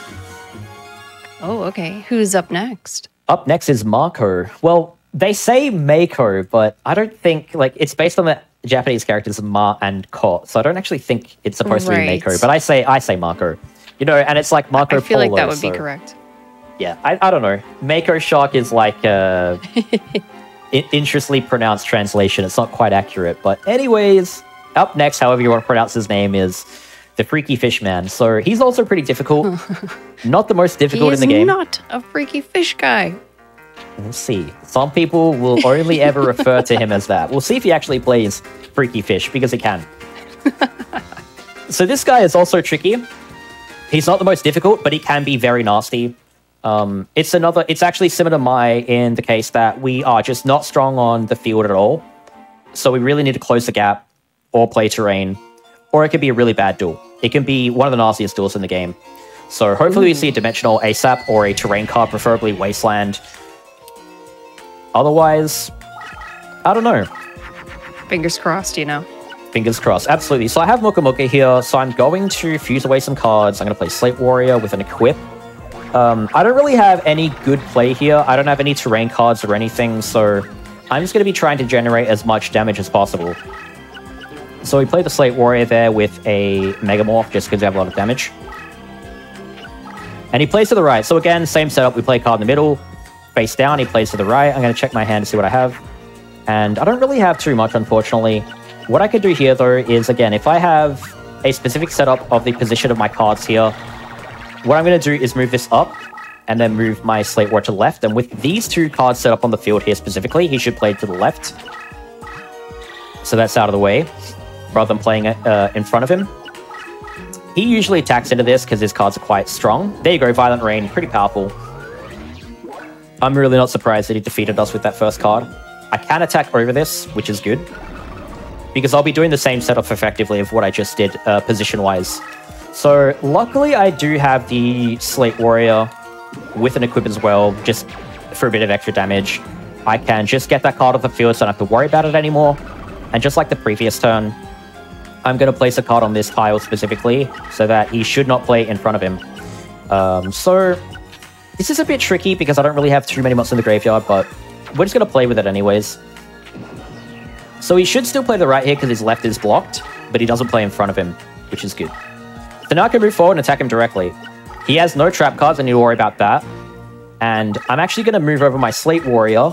Sorry, Slate Warrior, I love you, but I need your damage for Muka Muka. So I'm going to chain all these fusions. I don't have any fusions, actually. I thought I a zombie there. That would have been great if I did, but I don't. So I'm going to get rid of every monster in my hand. Each of these monsters generates 300 more attack and defense for my Muka Muka. I'm going to attack him directly. If you're really skilled like uh, GCAR 2006, shout out to him. He counts all the time, but I never count. So I just YOLO it, and luckily we had enough damage to win there. And that's the magic of Muka Muka. We finally got to see Muka Muka. Amazing. Yes. Gosh, 3,900 so you do attack just crab. kind of, you just kind of go for it. You You, win it. again. Worst case scenario is we'd probably win the next turn after that if we didn't have lethal. So it's worth just attacking Oh, him there with as much damage as I can. Especially if I've not counted my cards, which if I open with Muka Muka and that's the strategy I want to play, I will count, but otherwise I'm not guaranteed to draw it. So, you know, when I'm thinking about what is going to be played, what I should play, and commentating, I don't I just don't count. I just stack everything into the graveyard and uh, that way I didn't miss out on anything.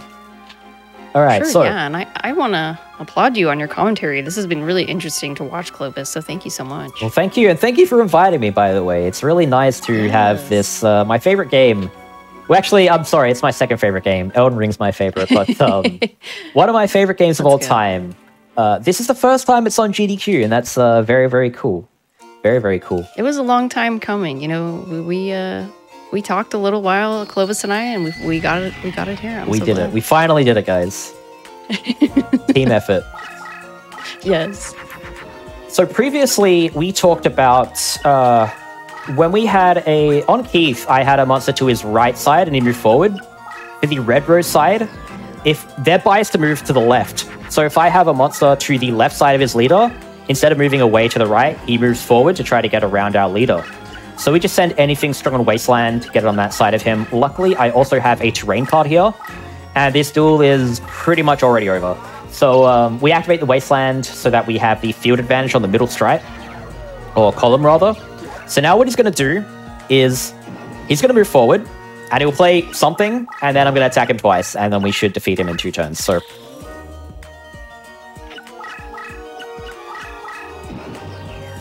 Uh, as you can see, we're just going to go ahead and attack him. We got 2100 attack with the Dragon Zombie. And the Cannon Soldier we played in the first turn has 1900 attack.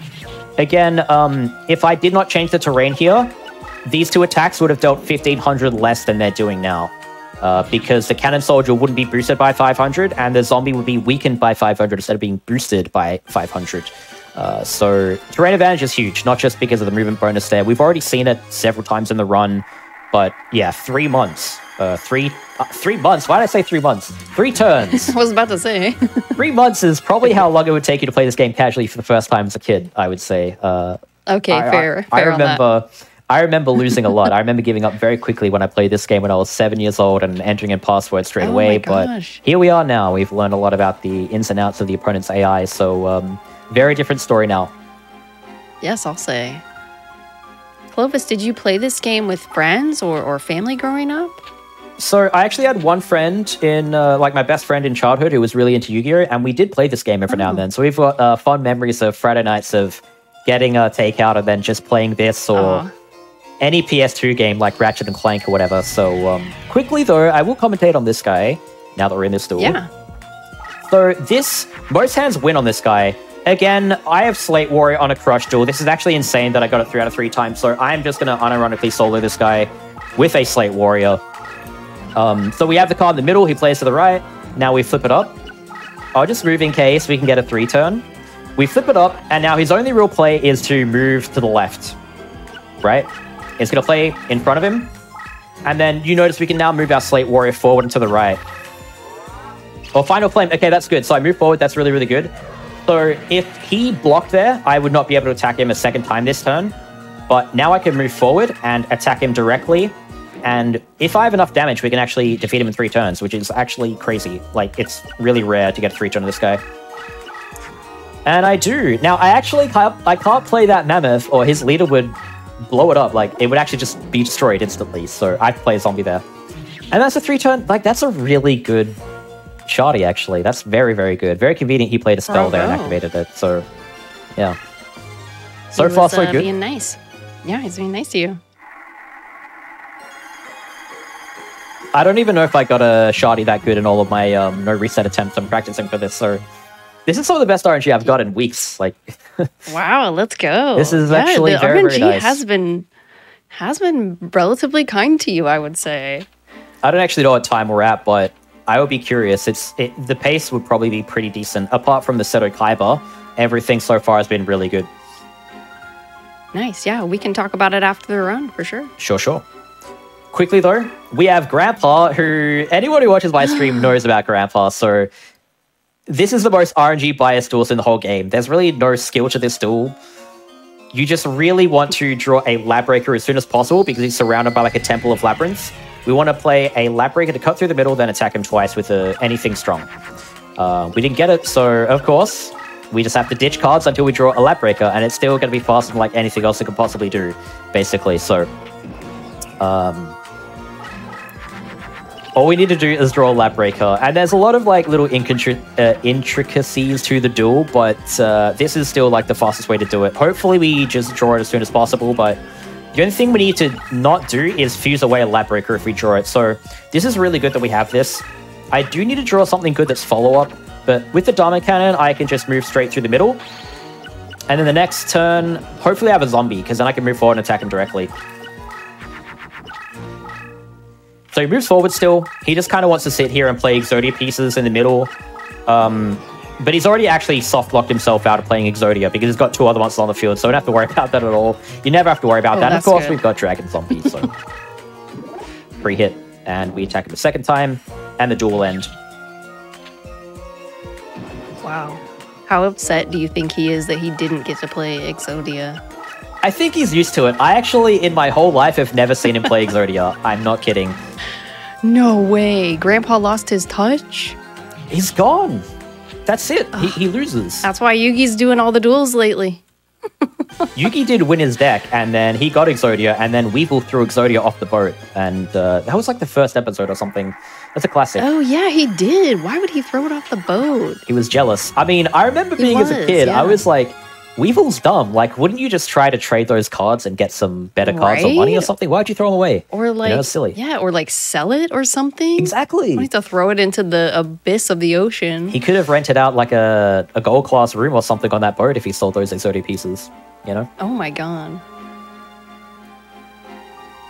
Alrighty, so final three duelists. Now, this is the guy that he has the lowest deck cost in the game, 757. Uh, so we have to have a deck cost lower than his, which is why we have to edit the deck at some point in the run. This guy, there's like five different strategies we can draw for this guy. Uh, Dimensional, Forest Fusion, Terrain, Slate Warrior, or a Cyberstein. So I just have to draw one of these strategies and hopefully win within four turns is, is the goal. All right, so immediately I've got. All right, this is good. This is good enough. I got Wasteland. So we set the card face down the field. He's gonna move forward and play behind him. The only time he ever actually plays uh, in front of him is with a spell, which I could activate my spell over it. So now I'm gonna activate the Wasteland in front of this tile after he's moved forward. Now, when I move forward, I can attack him with anything that has the terrain boost because I can move two tiles. I have the I have a beast and a machine. So shout out to Dice Armadillo. We don't always see this card, but this is 2150 attack on Wasteland. So this will actually defeat him in two hits. So after I attack him now, what he'll do is he'll move to the left, and he should play back left, and we just attack him again. And there's really not much you can do about this. So watch him move to the left. He plays back left. Next turn, we attack him again, and very, very ideal Bakura. Uh, doesn't get too much better than this, honestly. The optimizations in duels like this are basically if I have a dragon zombie instead of that fusion, then I don't have to fuse. I don't lose like three seconds to fusing, but that is still better than anything else, really. Uh, so that's a very good duel as well. We got a promotion as well. Promotion, cool. That doesn't do anything, but it's funny. promoted it's to funny the boss. Promotion of this game is a very like overlooked feature. it takes you. I have timed this, so I came up with the fastest strategy to rank up a deck leader in this game. It takes you, if you're doing it optimally, it still takes you five and a half hours uh, to get the max rank. Which that like you could beat this game five times within that time if you were speedrunning it. So it's not really worth it. So don't do that. Oh, don't do that. No, don't do that. This is why you're the boss and not an intern. Not You know the these boss. things. Well, I, I like to think so. I don't want to give myself too many pats on the back. Because I could get destroyed by this guy. I could get destroyed by Yugi. Yugi is, like Richard, he's very volatile. We could get a really easy duel or a really difficult one. Again, I don't have any idea what I'm going to be playing, but I do want to gap closer immediately. I have the best hand possible for this guy. That is incredible. So oh, let's go. Let's go. we got a dimensional so we can close the gap, and I have a slate warrior, which is really, really good. That is a curse breaker. So I don't have to worry about that. If he plays in front and he leaves it in attack mode, doesn't move it, that's a curse breaker. Um, I would prefer if I was able to play in that, but I'm not. So uh, what I'm actually going to do, I'm going to make sure I have enough follow-up damage here. Or try to. I'm going to hope hope that I have it. I'm going to attack him directly with a Slate Warrior here. And then if I'm able to attack him for 1600 attack next turn, I will 3-turn him. I could have probably actually played this better or ditched more cards. Uh, actually, if I have a plant and a warrior, do I? I can attack next turn with lethal. If I have a plant and a warrior.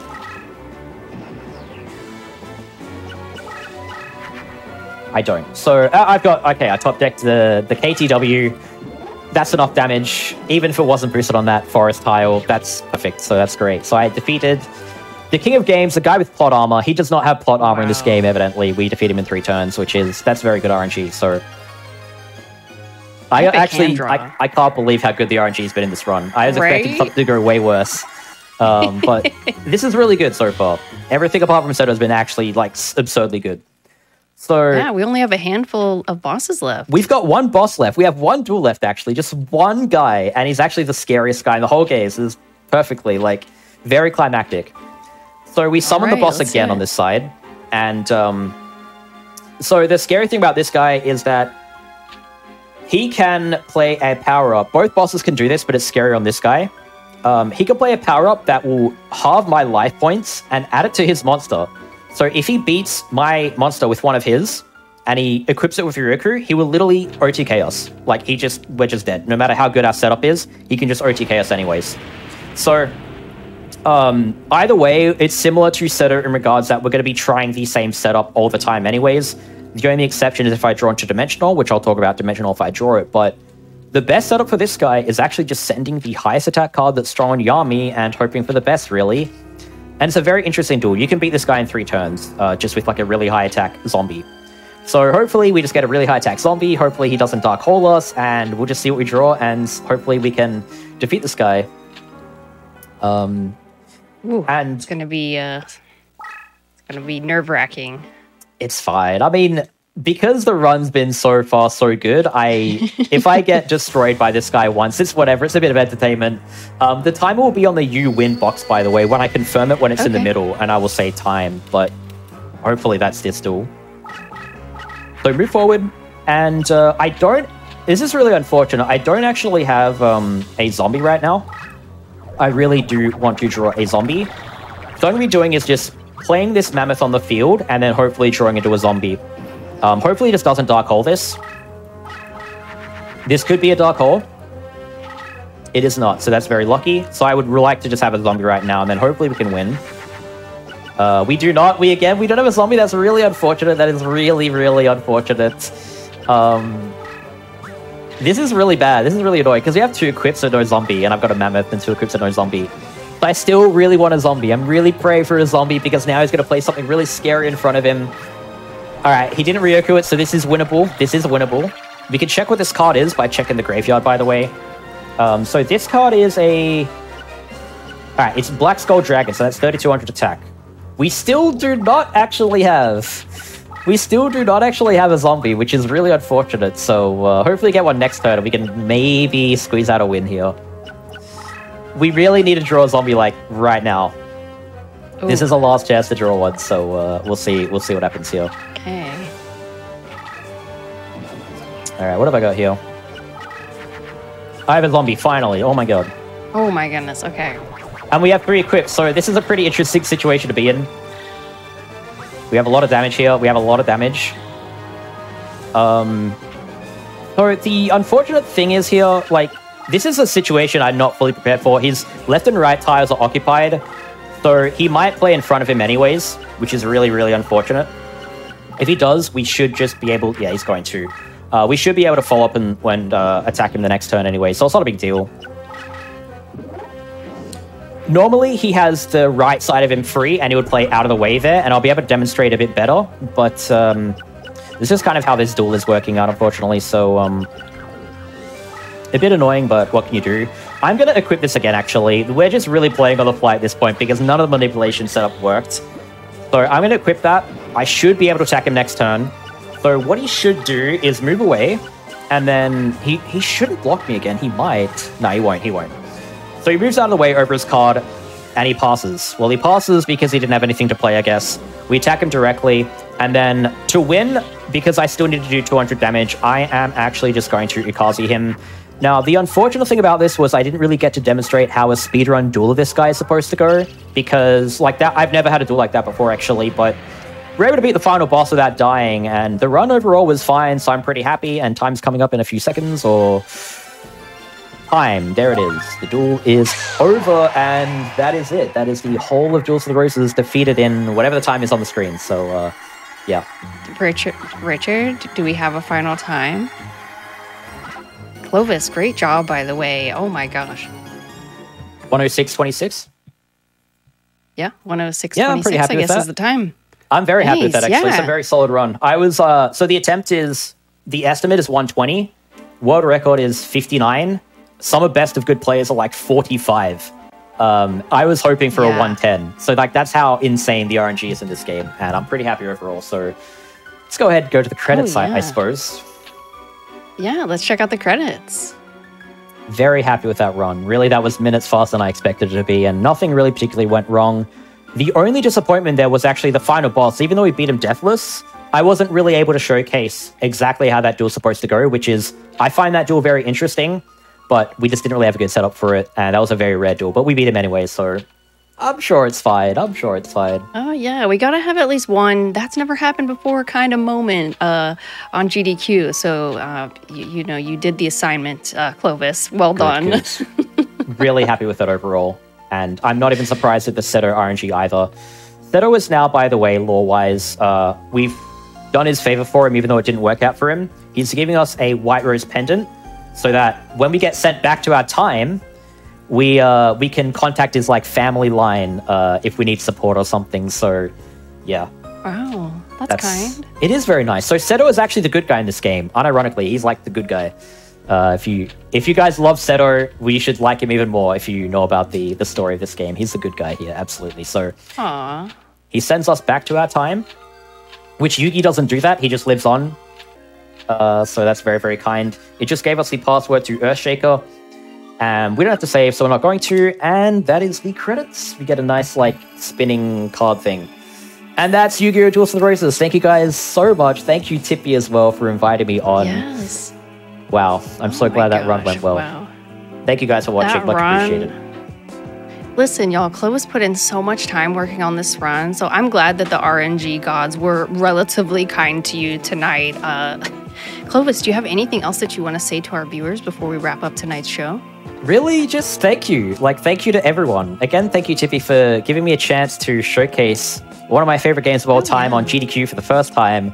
Thanks to everyone who followed me over from my channel or anyone outside of my channel uh, who just wants to come in and uh, watch a nice speedrun. Yeah, absolutely. I've been hanging out uh, in Clovis's chat while you were practicing, and it was a good time. So I encourage everyone to follow Clovis here on Twitch if you had fun with us tonight. That is twitch.tv slash Clovis Senpai.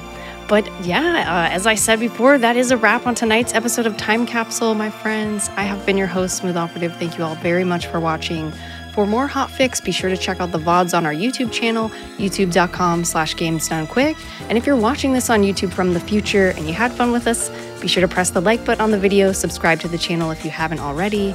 For my Twitch watchers, maybe arriving now, if you did miss out on Hotfix tonight, you can stay tuned for the replay of tonight's shows, RNG and Time Capsule, coming up right after the break. We'll be back with the live shows this weekend at 1 p.m. Eastern for speedruns of Castlevania and Silent Hill. Have a beautiful day or night wherever you are in the world, and the Hotfix crew will see you next time.